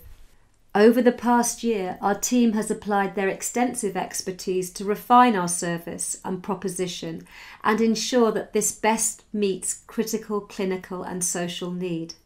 Our service delivery platform and proprietary symptom framework are now going through the last stages of user testing before we prepare our pilot services. We now need to secure our next stage funding to help us refine our services further and deliver our much needed video and in person support programs. We hope you will take this opportunity to help us help everyone get and share a better picture of their health and to understand more about what they will need to do to stay safe and well at this time and in the future. Okay, um, Q and A time. Well, if nobody else is stepping up, then I shall step in. Uh, I, my my my main uh, question here is to do with the um, with, with people actually filling it in. That looked like a very detailed form, about 200 questions. And I'm guessing that a lot of your potential uh, audience are elderly. So from a practical point of view, uh, have you tested this at all? Uh, have you uh, had any insight as to um, whether people actually will, will fill it in um, such a detailed form with, with people um, That's a very important question. And it's actually one that we asked at a very early stage. Um, and this is why we have support built in. Um, so, it, absolutely, having this number of questions is incredibly challenging. And we've had the convention in digital healthcare is that you shouldn't ask that many questions at once. However, unless you do so, you don't get a complete picture. And supporting people to be asked that question. You could break it up into different se sessions if you like. The, our, our platform supports that. But asking all of the questions at once also encourages people to think in a more systemic way about their health and what they're experiencing. So this is not something that people would necessarily do um, every single day, um, unless there was a real uh, clinical need to do so. But it is the comprehensive glue that could hold a lot of other things together. Um, and absolutely, support is critical. Um, and understanding that support, what people with cognitive impairments might need, what people who are neurodivergent, like myself, would need. Um, I think, you know, it, it, the COVID era has taught us that support, you know, that, that you can build the best products and the best tools, but people actually need a lot of help and support and explanation to be able to use them properly. So we absolutely that's absolutely built in from the beginning.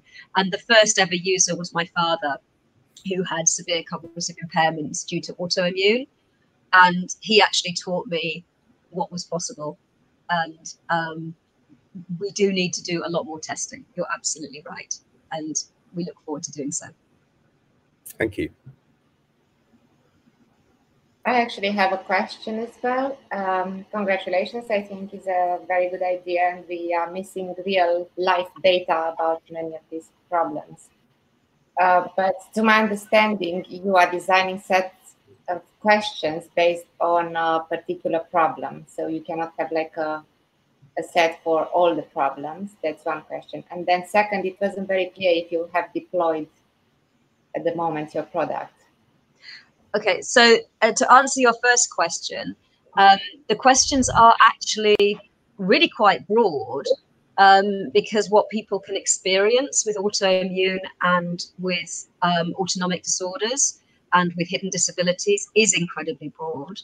So we cover quite a few physical symptoms, but also what people are experiencing in cognitive and social functioning, and it, it, it, it also incorporates a, a, kind of body scan, really, but what people are experiencing. So it complements other tests. And, it, and we have, in actual fact, we, we have our own platform that we're building because we have development skills in house. I've pretty much built most of it myself to bring us to this prototype stage. And um, although we do have some um, minor technical challenges, we've had people using it for the past three or four months on a on a, on a um, sort of path-finding basis. So we have our platform. It's not an app; it's a mobile accessible website, um, but that allows us to be able to iterate our design and to be very, very uh, user-focused, user-reactive, and to adapt as we go along, which is very, very difficult and expensive to do once you've moved to apps.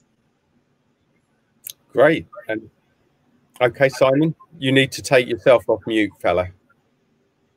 Simon, you're on. Yeah, thank you. Um, would it not be better to have the engagement process driven by voice as opposed to um, the conventional?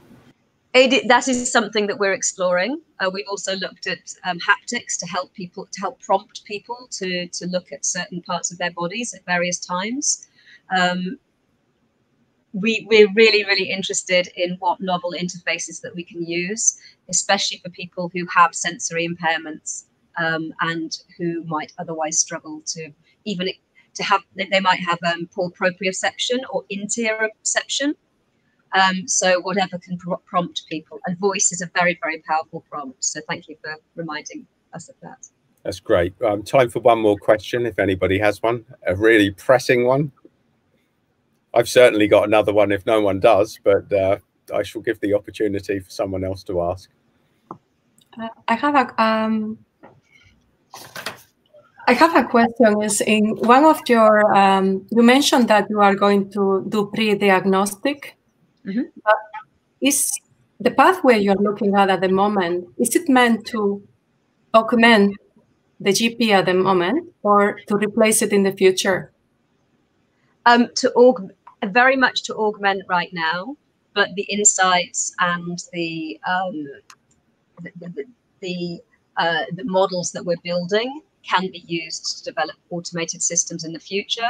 But one of the things that we're really clear on is the value that clinicians' observations bring, whether they're doctors, clinic nurses, all sorts of practitioners, which I actually think is hugely under-recognized.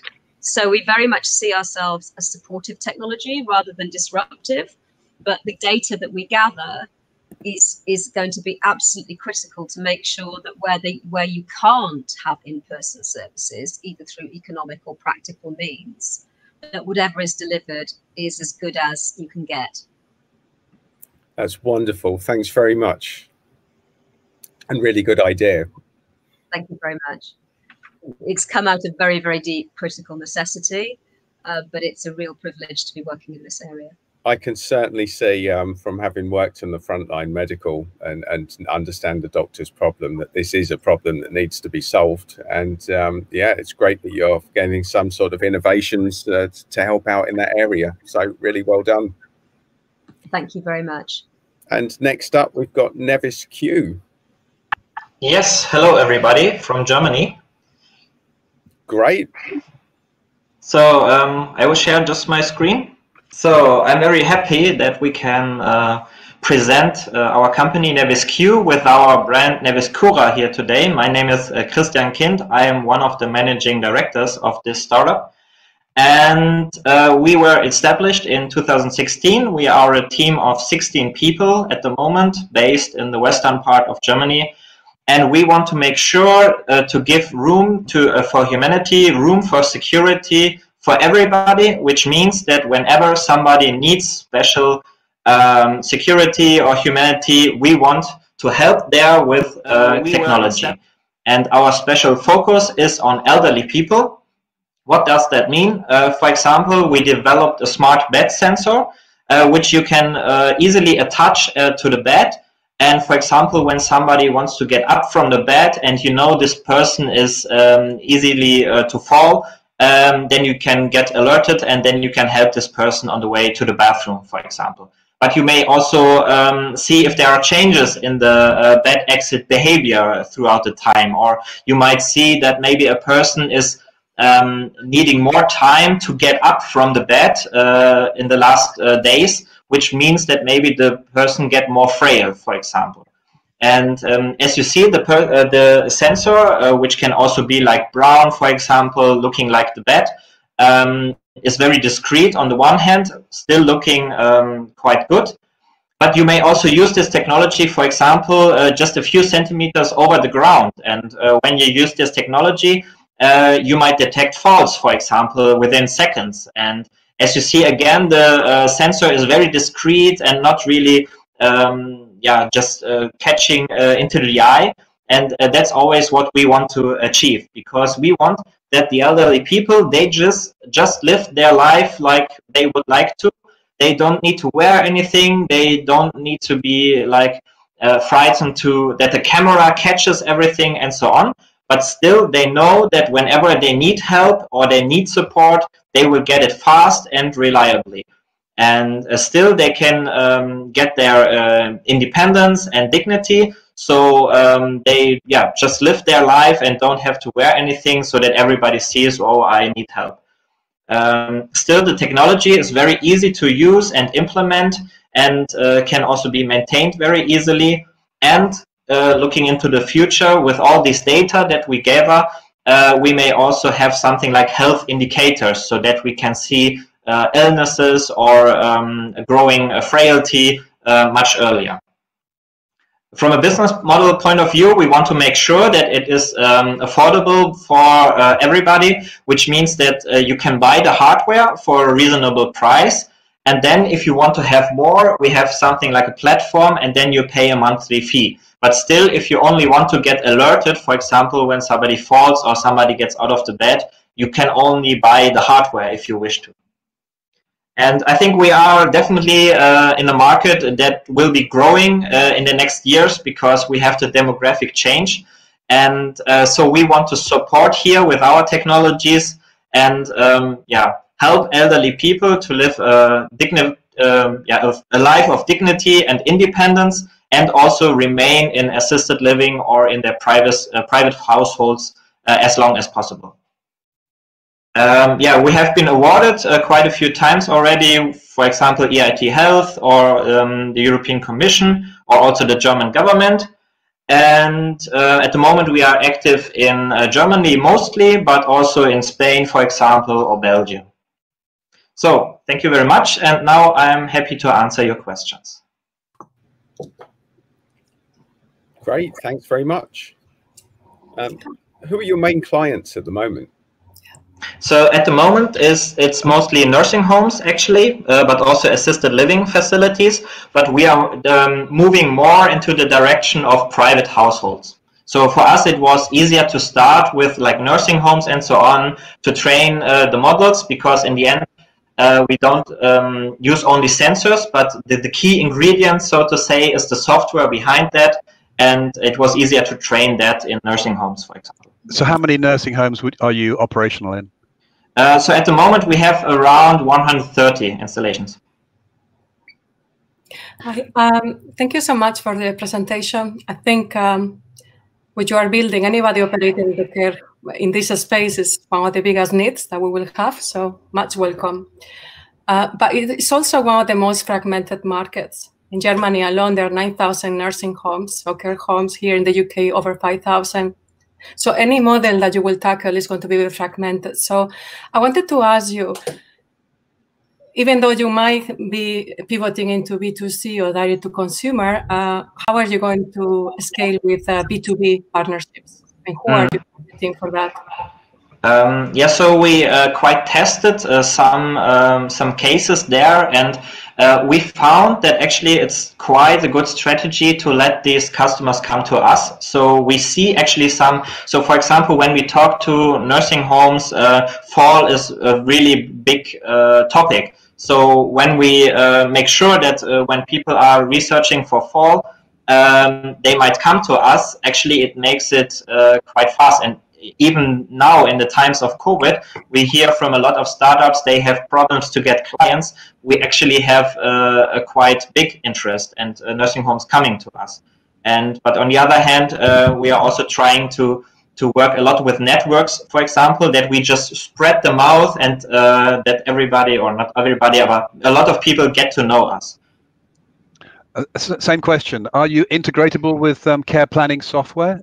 I know Germany is very far behind on care planning software, but is that something you, you're working on or have an API? Um, yes, we have an API. We have a RESTful API, for example. Um, we don't have a software that we are integrated at the moment, but we are talking to some software providers in Germany to uh, to do that probably next year. Then. And have you had any traction with hospitals at all? Um, yeah, we just started with some uh, trials. Um, maybe some of you know Helios from Germany. Um, it's a quite big uh, hospital chain, and we have a trial there with uh, five uh, facilities at the moment. Oh, that's great. Well, I can certainly say we could have done with that equipment when I was on the front line of the, um, uh, of especially with side rooms. So yeah, this is uh, it's definitely a piece of uh, useful equipment. I can see the use for it. Um, I'm afraid that's um, our Q and A time allocation. Christian, really appreciate um, what you've done there. Great presentation. Um, but we're going to have to move on now. And um, yeah, thank you. Our, our next uh, our next company up is Alio. Thanks again, everyone. It's a great opportunity uh, to be here. Uh, I'm Dave. I'm one of the co-founder and CEO of Alio. We're focused on remote patient monitoring uh, for vulnerable patient populations, initially starting with dialysis and heart failure.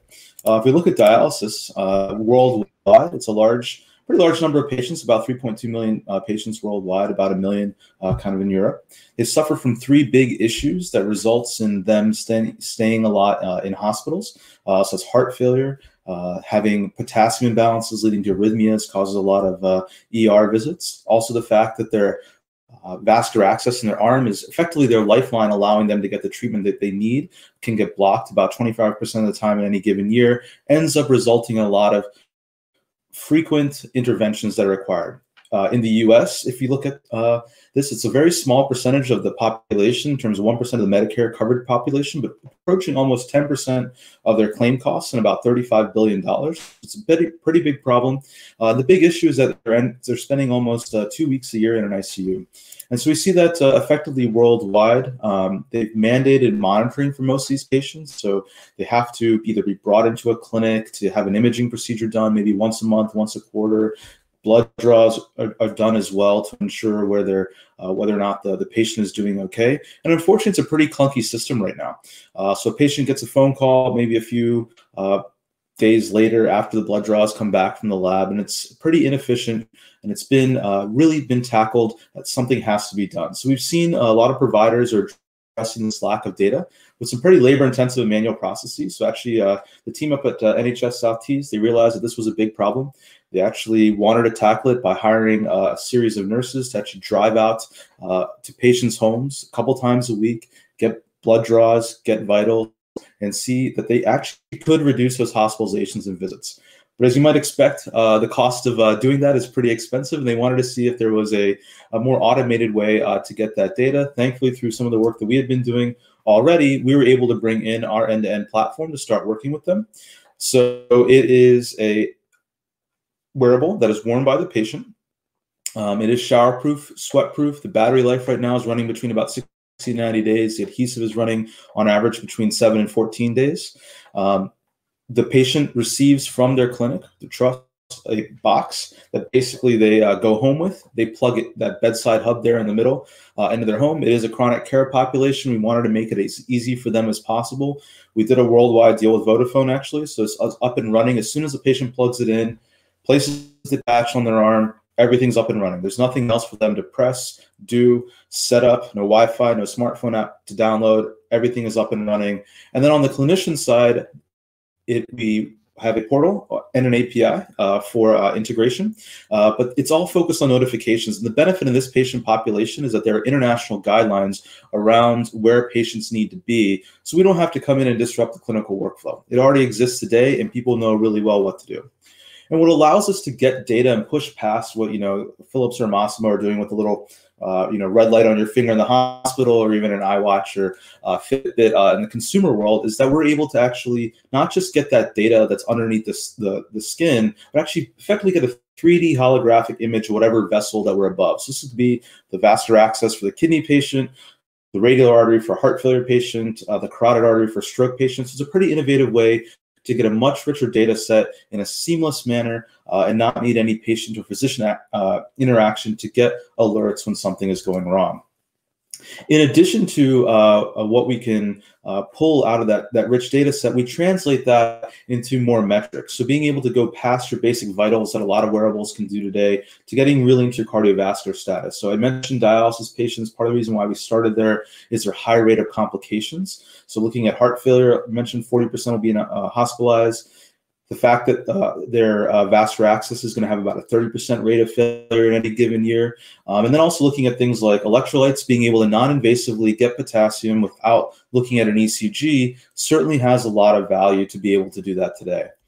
Um, it's obviously important to be accurate. So it's it's great that we can put up a lot of uh, metrics up there, but if it's not worthwhile if we don't have the confidence of clinicians. We've shown our ability to do so with patients placing this product on themselves at home without us having to, to intervene and comparing ourselves to, to, to, both blood draws and some of the systems that are utilized today uh, that are either clunky or require a uh, an actual blood stick if we look at what that means in terms of costs and savings, this was actually uh, an, NHS patient that we were tracking over time. We showcased the, the, the value. Their, their, their, clinician had changed one of their parameters uh, for one of their drugs. It's relatively expensive.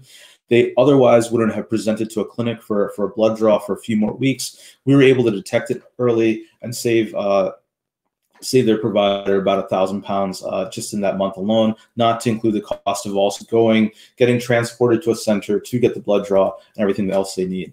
And that same compelling outcomes are across over 250 clinical subjects that we've been able to, to work with so far. Uh, we've seen really strong data. And I think that makes us best in class in terms of a wearable. We certainly stand on the uh, shoulders of giants, but the ability to go past where consumer products are, the limited insights from some more of the vitals companies, and then even the uh, the, very uh, robust metrics uh, for some of the single, single metrics implantable companies that we see today means that we have a really big market that we can we can tackle long term. Uh, in terms of remote monitoring, we're already starting to see that pull happen for us. There's a real unique opportunity to start here in the dialysis market in terms of the alignment of the needs of the physician, the patient, the provider, uh, and the payer as well, and, and what's out there in terms of reducing hospital stays, making the patient life a lot easier, and being able to redefine the current treatment paradigm that results in lots of uh, excess visits and excess uh, costs. And whether in the US and you're looking at a fee for, more of a fee for service model, a value based model, or even a single payer model, uh, we can fit in really well with that. There's a good incentive uh, for folks to, to work with us in terms of uh, cost savings also new revenue uh, here in the U.S. for some of the providers. So there's a really great balance of the ability of the uh, from a from a business standpoint to great traction and create a great flywheel uh, for what we're doing. Certainly, some of the new reimbursement changes, the value-based care changes, are certainly coming into place in terms of what we're able to do as well. We've got some amazing partners uh, that, across both the, the U.S., the U.K., and, and, and Europe as well. Maastricht, and then uh, the University of Vienna as well that we'll be starting off with uh, here in uh, Q1, Q2 uh, in 2021. Um, so we've already been doing a lot of work with the NHS and the South Southeast team, uh, tracking a, small cohort of their patients over time. Pretty excited about that opportunity, and the team that's bringing all this to date is a really good blend of both med tech and medical uh, and, and high tech innovators that have strong background in um, startups quite a few exits under the team's belt as well, which we think makes us a really interesting opportunity to bring world-class wearables that generate clinically actionable data and then integrate those alerts into current clinical workflows uh, for the best outcomes uh, for patients. So thanks again uh, for your time and certainly happy to answer any questions you might have. Thanks, Dave. Nice presentation. And uh, that looks like a very interesting bit of kit. I have to ask, um, what is the what's the cost um, for uh, units to take this on board and, and implement it? Sure. So, so right now, um, it, it, we've been looking in the U.S. It's been a, a, per member per month model, so it's about hundred dollars uh, per member per month. Uh, they do have reimbursement uh, that comes in uh, to cover about two hundred dollars per uh, per member per month. So uh, it's a pretty um, for the whoever implements it, it's effectively a cost share. Um, so we've been able to, I think, at that price point, um, be able to it is a premium product. There's a lot. There's about 16 sensors in, inside of the patch. We also provide the entire service. So we're covering the cost of the cellular modem, for example. It's fully baked. So uh, on our end, we provide, if there's any new kit that needs to be sent out to a patient, directly drop shipped to them, everything is fully covered on our end. Uh, we can see if things aren't working uh, and that whole piece is uh, pulled in. So right now it's about $100 uh, per, per patient per month. And so we're looking at what the pricing model will be uh, in Europe a little bit more. Hi, um, Great um, solution. Uh, I got a question regarding partnerships. Um, at the moment, what I see is a lot of uh, B2C or B2, B2G, if it's a hospital. Um, yeah. But your sector, the RPM sector and IoT, is in consolidation already. So which kind of uh, ecosystems are you seeing yourself in one or two years' time? Because everybody is positioning themselves in the horizontals uh, in mm-hmm. the RPM. Sure, absolutely. So I think um, what we we, I think we looked at attacking the problem two ways, right? So found a very interesting patient population where we could, I think, really showcase value uh, and start driving uh, a, a, very strong business model um, from a distribution standpoint to a reimbursement standpoint, et cetera. Um, but yes, we are entertaining um, conversations with a few different folks that are in the RPM space that maybe are in the heart failure space or um, looking at folks that are doing managed uh, population care uh, as well for a dialysis or heart failure population, uh, integrating uh, our, our platform into what they're doing. And there's on ramps and off ramps at every opportunity. So, uh, from a patch perspective, we can feed right into somebody else's hub. At the hub level, we can feed right into somebody else's uh, uh, care management platform. So, it's certainly been set up to allow that uh, to happen uh, across the way. How, have you dealt with the issue of data validation, data updating, different participants inputting data? A lot of a lot of the, this sector is looking at sort of blockchain as being a potential solution there in terms of the sort of data um, flow. Is that something? Do you have solutions for that? So right now, uh, that that's certainly something on, on the horizon for us. Uh, but right now, what we've done is that uh, we it's all raw data to the cloud. We don't there's no patient identifying information anywhere until the pull request actually gets made uh, at the clinic site. Uh, so they're the only people that have access to that. So it's not using like a full you know that's kind of being set up if you will to be almost in a blockchain ledger type format. Uh, so we already utilize a ledger today that is completely different and uh, apart from the actual data flow setup from patch to hub to cloud to clinic. The ledger then actually just pulls to whoever the um, the, the box the kit has been given to, uh, that's how it actually gets pulled in. So it is set up to, to be able to integrate that in the future, but it's a pretty already a, a system that is uh, well designed to, to protect uh, patient information today. So your cloud-based database um, is, is, holding data that is compatible with NHS FHIR and various other US comparables. It's yeah. you know, it's, it's, it's multi-capable basically. Exactly. So it's kind of already GDPR compliant, and it's already set up with. There's an AWS uh, instance in each of those countries. On all those pieces are set up then for compatibility with that data flow. I have a question actually regarding patients. As you are probably aware, many of the patients now are uh, demanding access to access to their health data. Uh, do you have any plans to have an interface for patients as well? That's one question. And the second one, you presented some of the devices existing on the market as being competitors. Uh, but did you think you could integrate with the data they provide and maybe uh, enhance enhance your product?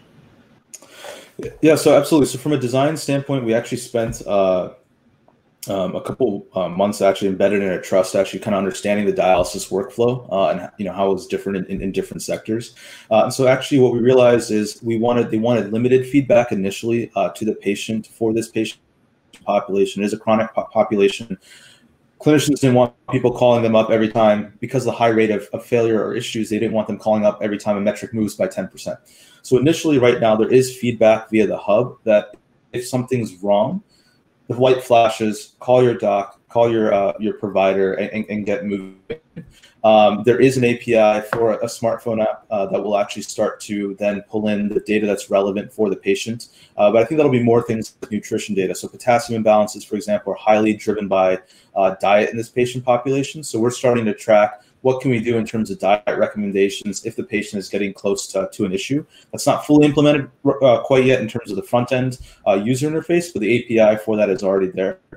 Um, then from the standpoint of integration, we, we, are certainly looking, we're certainly very open to partnerships. Um, working with others, uh, we're looking at heart failure companies or ECG companies, for example, that might have a full six lead, integrating with us to get a full comprehensive cardiovascular suite. Uh, there's a sepsis company, for example, that has done um, looking at uh, population health sepsis uh, alerts, but they don't have an actual hardware. It's just pure software. So integrating with them, pulling all of our data together so they're not just looking at a limited data set of heart rate, uh, temp, um, and SpO2. Now we can push past that into BP, potassium, uh, flow, looking at if, the, if their, their vessels are getting collapsed. That's a more uh, rich data set for potential uh, sepsis alerts. So we're looking at both software and hardware partners uh, to integrate the data with. Thanks, Dave. I'm afraid that's our time run out now, but um, yeah, very competent job there and looks like a very interesting bit of kit you've got. So thanks very much for uh, presenting that with us today. And hopefully we've got uh, melting ice, ice, cubes ready to uh, rock and roll uh, for our next presentation. Hello, my name is Malvia Maddox, and I'm really pleased to be able to speak to you about Melting Ice Cubes, our health platform. We simplify health search and we help people to build health literacy. We know that this is important because of family circumstances we have faced, but actually, you talk to most people who have been through health challenge, and they will all tell you that it is associated with anxiety and concern and fear. So people do look online, they are using e-health tools, but there's always that risk element, isn't there? Who, what, and quality. Also the volume of information that's available. What's the right question that you need to ask to pull back the information you need? These are some of the problems that, that we need to fix. Uh, medical terminology and being able to manage your health with medical professionals. If you understand your health, then you'll do a much better job of having conversations with medics. Um, I think the NHS model does actually foster a delegated healthcare culture, but if we can address that and if we can equip people to be able to speak in partnership, that has benefits for everybody. So the solution that we came up with was our platform. Uh, you type in a condition, you can see here, we populate your screen then with related content.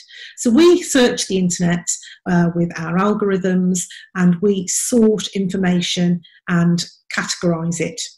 We're currently refining all of this with that we've built a, a validator tool that is indexing and um, giving us even more refinement on the information we present.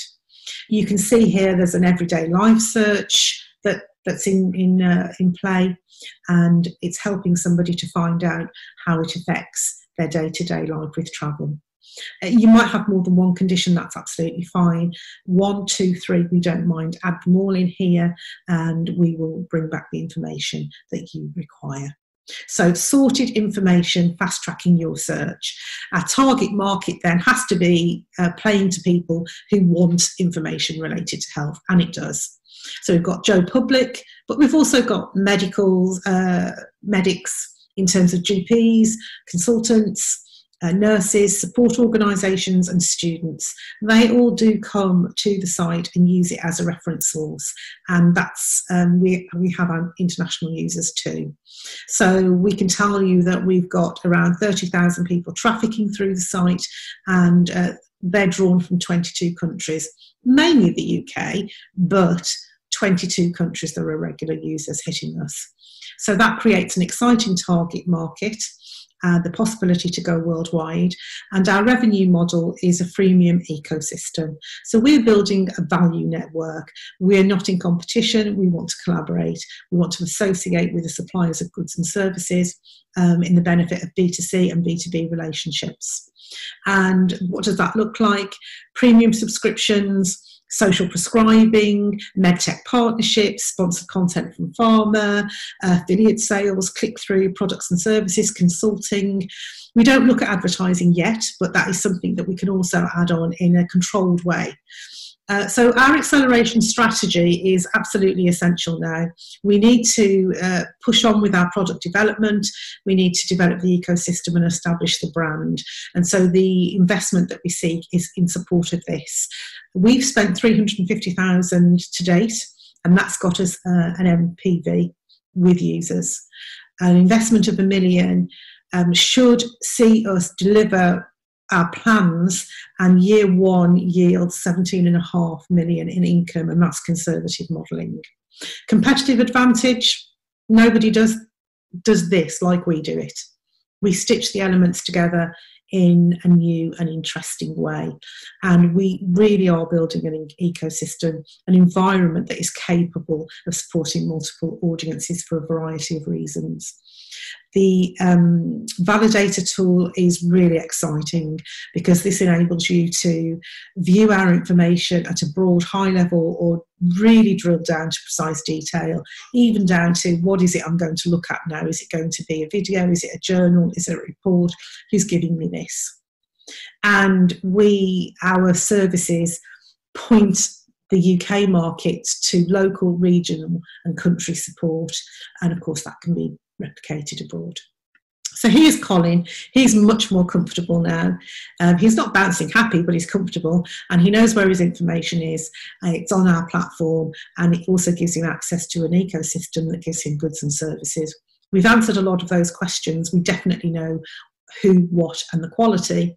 And there's some larger society um, improvements too. It does create efficiencies for healthcare delivery definitely supports mental health and improves the health of the nation generally. So, this is the team that built the platform. Um, experienced team here. We buy in additional services where needed, but if you want to speak to us, there we are. And if you want to join us on this journey um, in building an ecosystem that supports health, we would love to speak to you. Thank you. Great. Well, thank you very much for that presentation. Very interesting. Um, over to the panel for questions. Um, I can start. So, where have you got to with validate? Because I appreciate it's early days, um, but where have you got to with validating the different kind of revenue options that you've mentioned? Um, I've had conversations in each of those spaces uh, that we mentioned there. So we've spoken to people regarding the NHS and um, social prescribing. I've spoken to, um, just have a look at my list here, universities, colleges, businesses, charities. In each of the areas that I have listed, I've had physical conversations with people and their interest in being able to work with us. I got a question. Hi, I'm Olivia. Congratulations on the how far you come with the platform. Um, my, my question is about the scope of the platform, because obviously, from a content perspective and from a segment perspective, we cannot do everything at the same time. Yeah. So I wanted to ask you, how do you sort out the complexity of dealing with any probable combination from the content perspective, meaning who are you partnering with to bring those localized more patient-centric um, uh, services just to fast track that. And maybe if you could offer from all these conversations you just had mentioned with the different segments, which is going to be your starting point or where you see the most traction? I think that that is the challenge that we've always faced. And if I can just give some context why we've made that decision. So as our, as our family had to support somebody who had degenerative condition from childhood into adulthood, that means you don't have the luxury of being able to confine your thought process to one area. You know, you are immediately impacted by understanding the condition, understanding the treatment pathway, the medications, the therapies. How does this affect education, um, the, care, the care supporting the community? How do you get on with life, travel, work, etc. And so I have always had a 360 degree view of impacts to a person and a family of ill health. So with the challenge we, we've had for about 10, 12 years was everybody always saying you can't do it all. But with the team that we've got together, with the AI uh, that we've built and the algorithms, we are able now, you take any condition, you plug it into the platform, and though the, the tool goes and drags the information in. So every day we get requests from the public saying, can you add my condition, add my condition. I think we've got over 650 yeah, conditions there. Um, so the tool is the is the instrument that goes out and sorts the content, and then we organise it.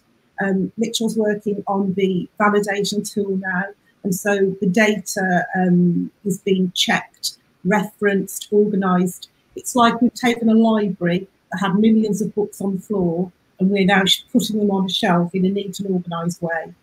I think that's really important for a person who comes to the platform. They can they can segment how do they want their information. Is it medical related? Is it life related?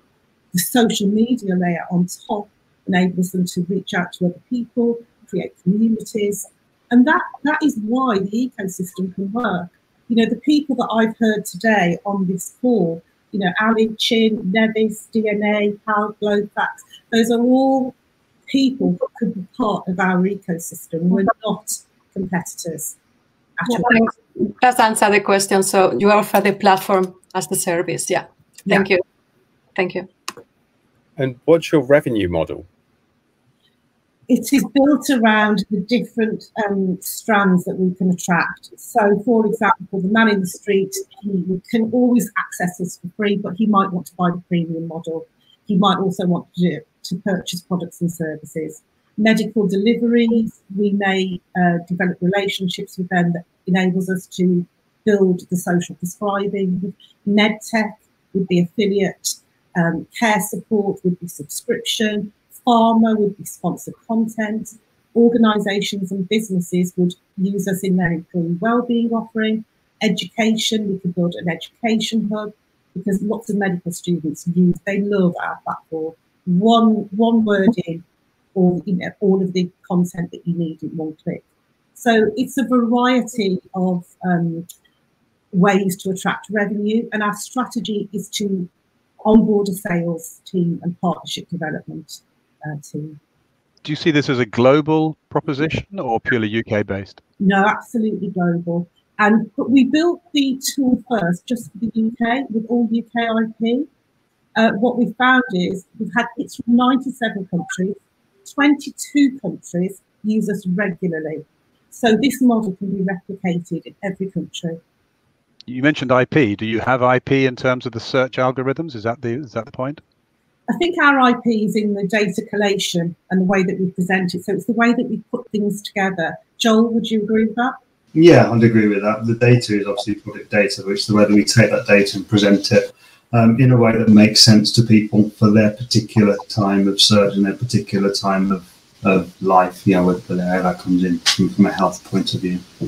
What is your trust model? Because presumably you're collecting a lot of data about the user in background, and that data, um, it, I was going to say traditionally, but I guess that's as good as any. Traditionally, is being sold to Google. Is that a sort of approach that you'll take as a revenue model? No. No, no intention. No. And how will you prove that that is the case?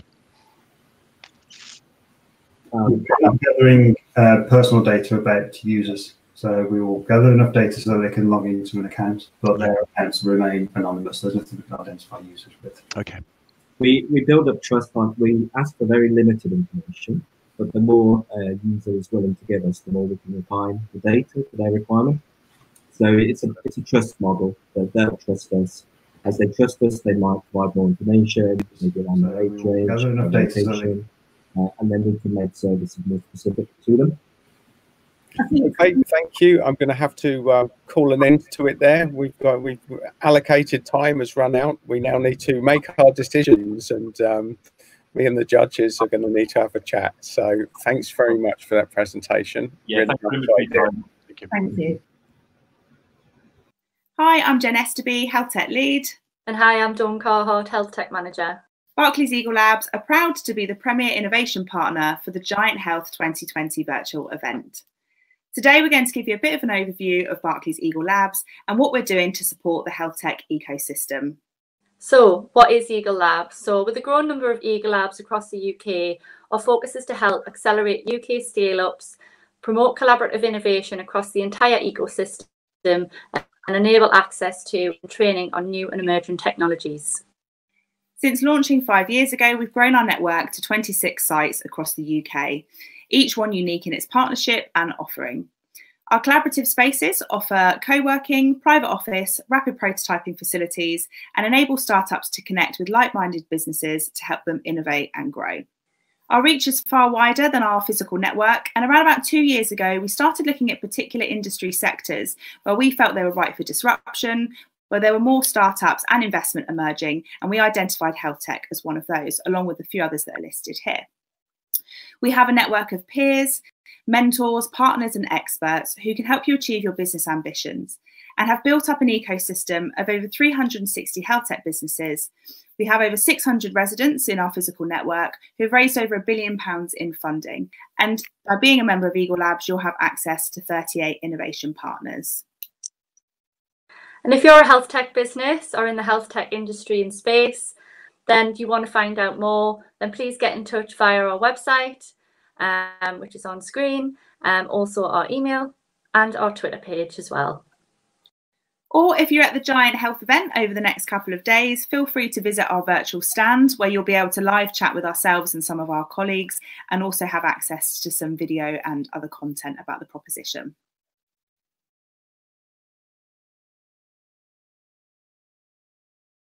Well, I guess this makes us live, and I want to thank everybody for their contributions today. There's been some really strong pitches, there's been some excellent ideas, and uh, it's been a really tough decision. And for the record, just so everyone knows, every category was a split decision. It wasn't clear in any area. So um, take consolation for anyone that hasn't um, won anything today. You probably have won something as far as the judges are concerned. So, um, without further delay, um, to put you uh, out of your suspense, there were three categories and an overall overall winner. So we had the pollen, the sprout, and the bean categories. So, in the pollen category, our winner was CHIN. Well done, excellent job.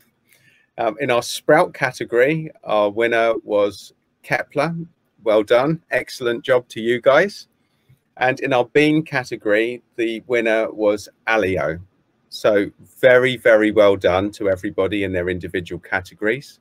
Um, they were all tightly contended. And speaking of tight contention, the overall winner um, sparked a huge debate on the uh, judges panel. So um, it's been very exciting times. There's been some differences of opinion, but we have come out with an overall winner. And um, now that I've rolled out the suspense just about as long as I can, I shall announce really well done to CHIN, who win the overall award. Congratulations for very high standards this year. Well done, CHIN. Thanks all for getting involved.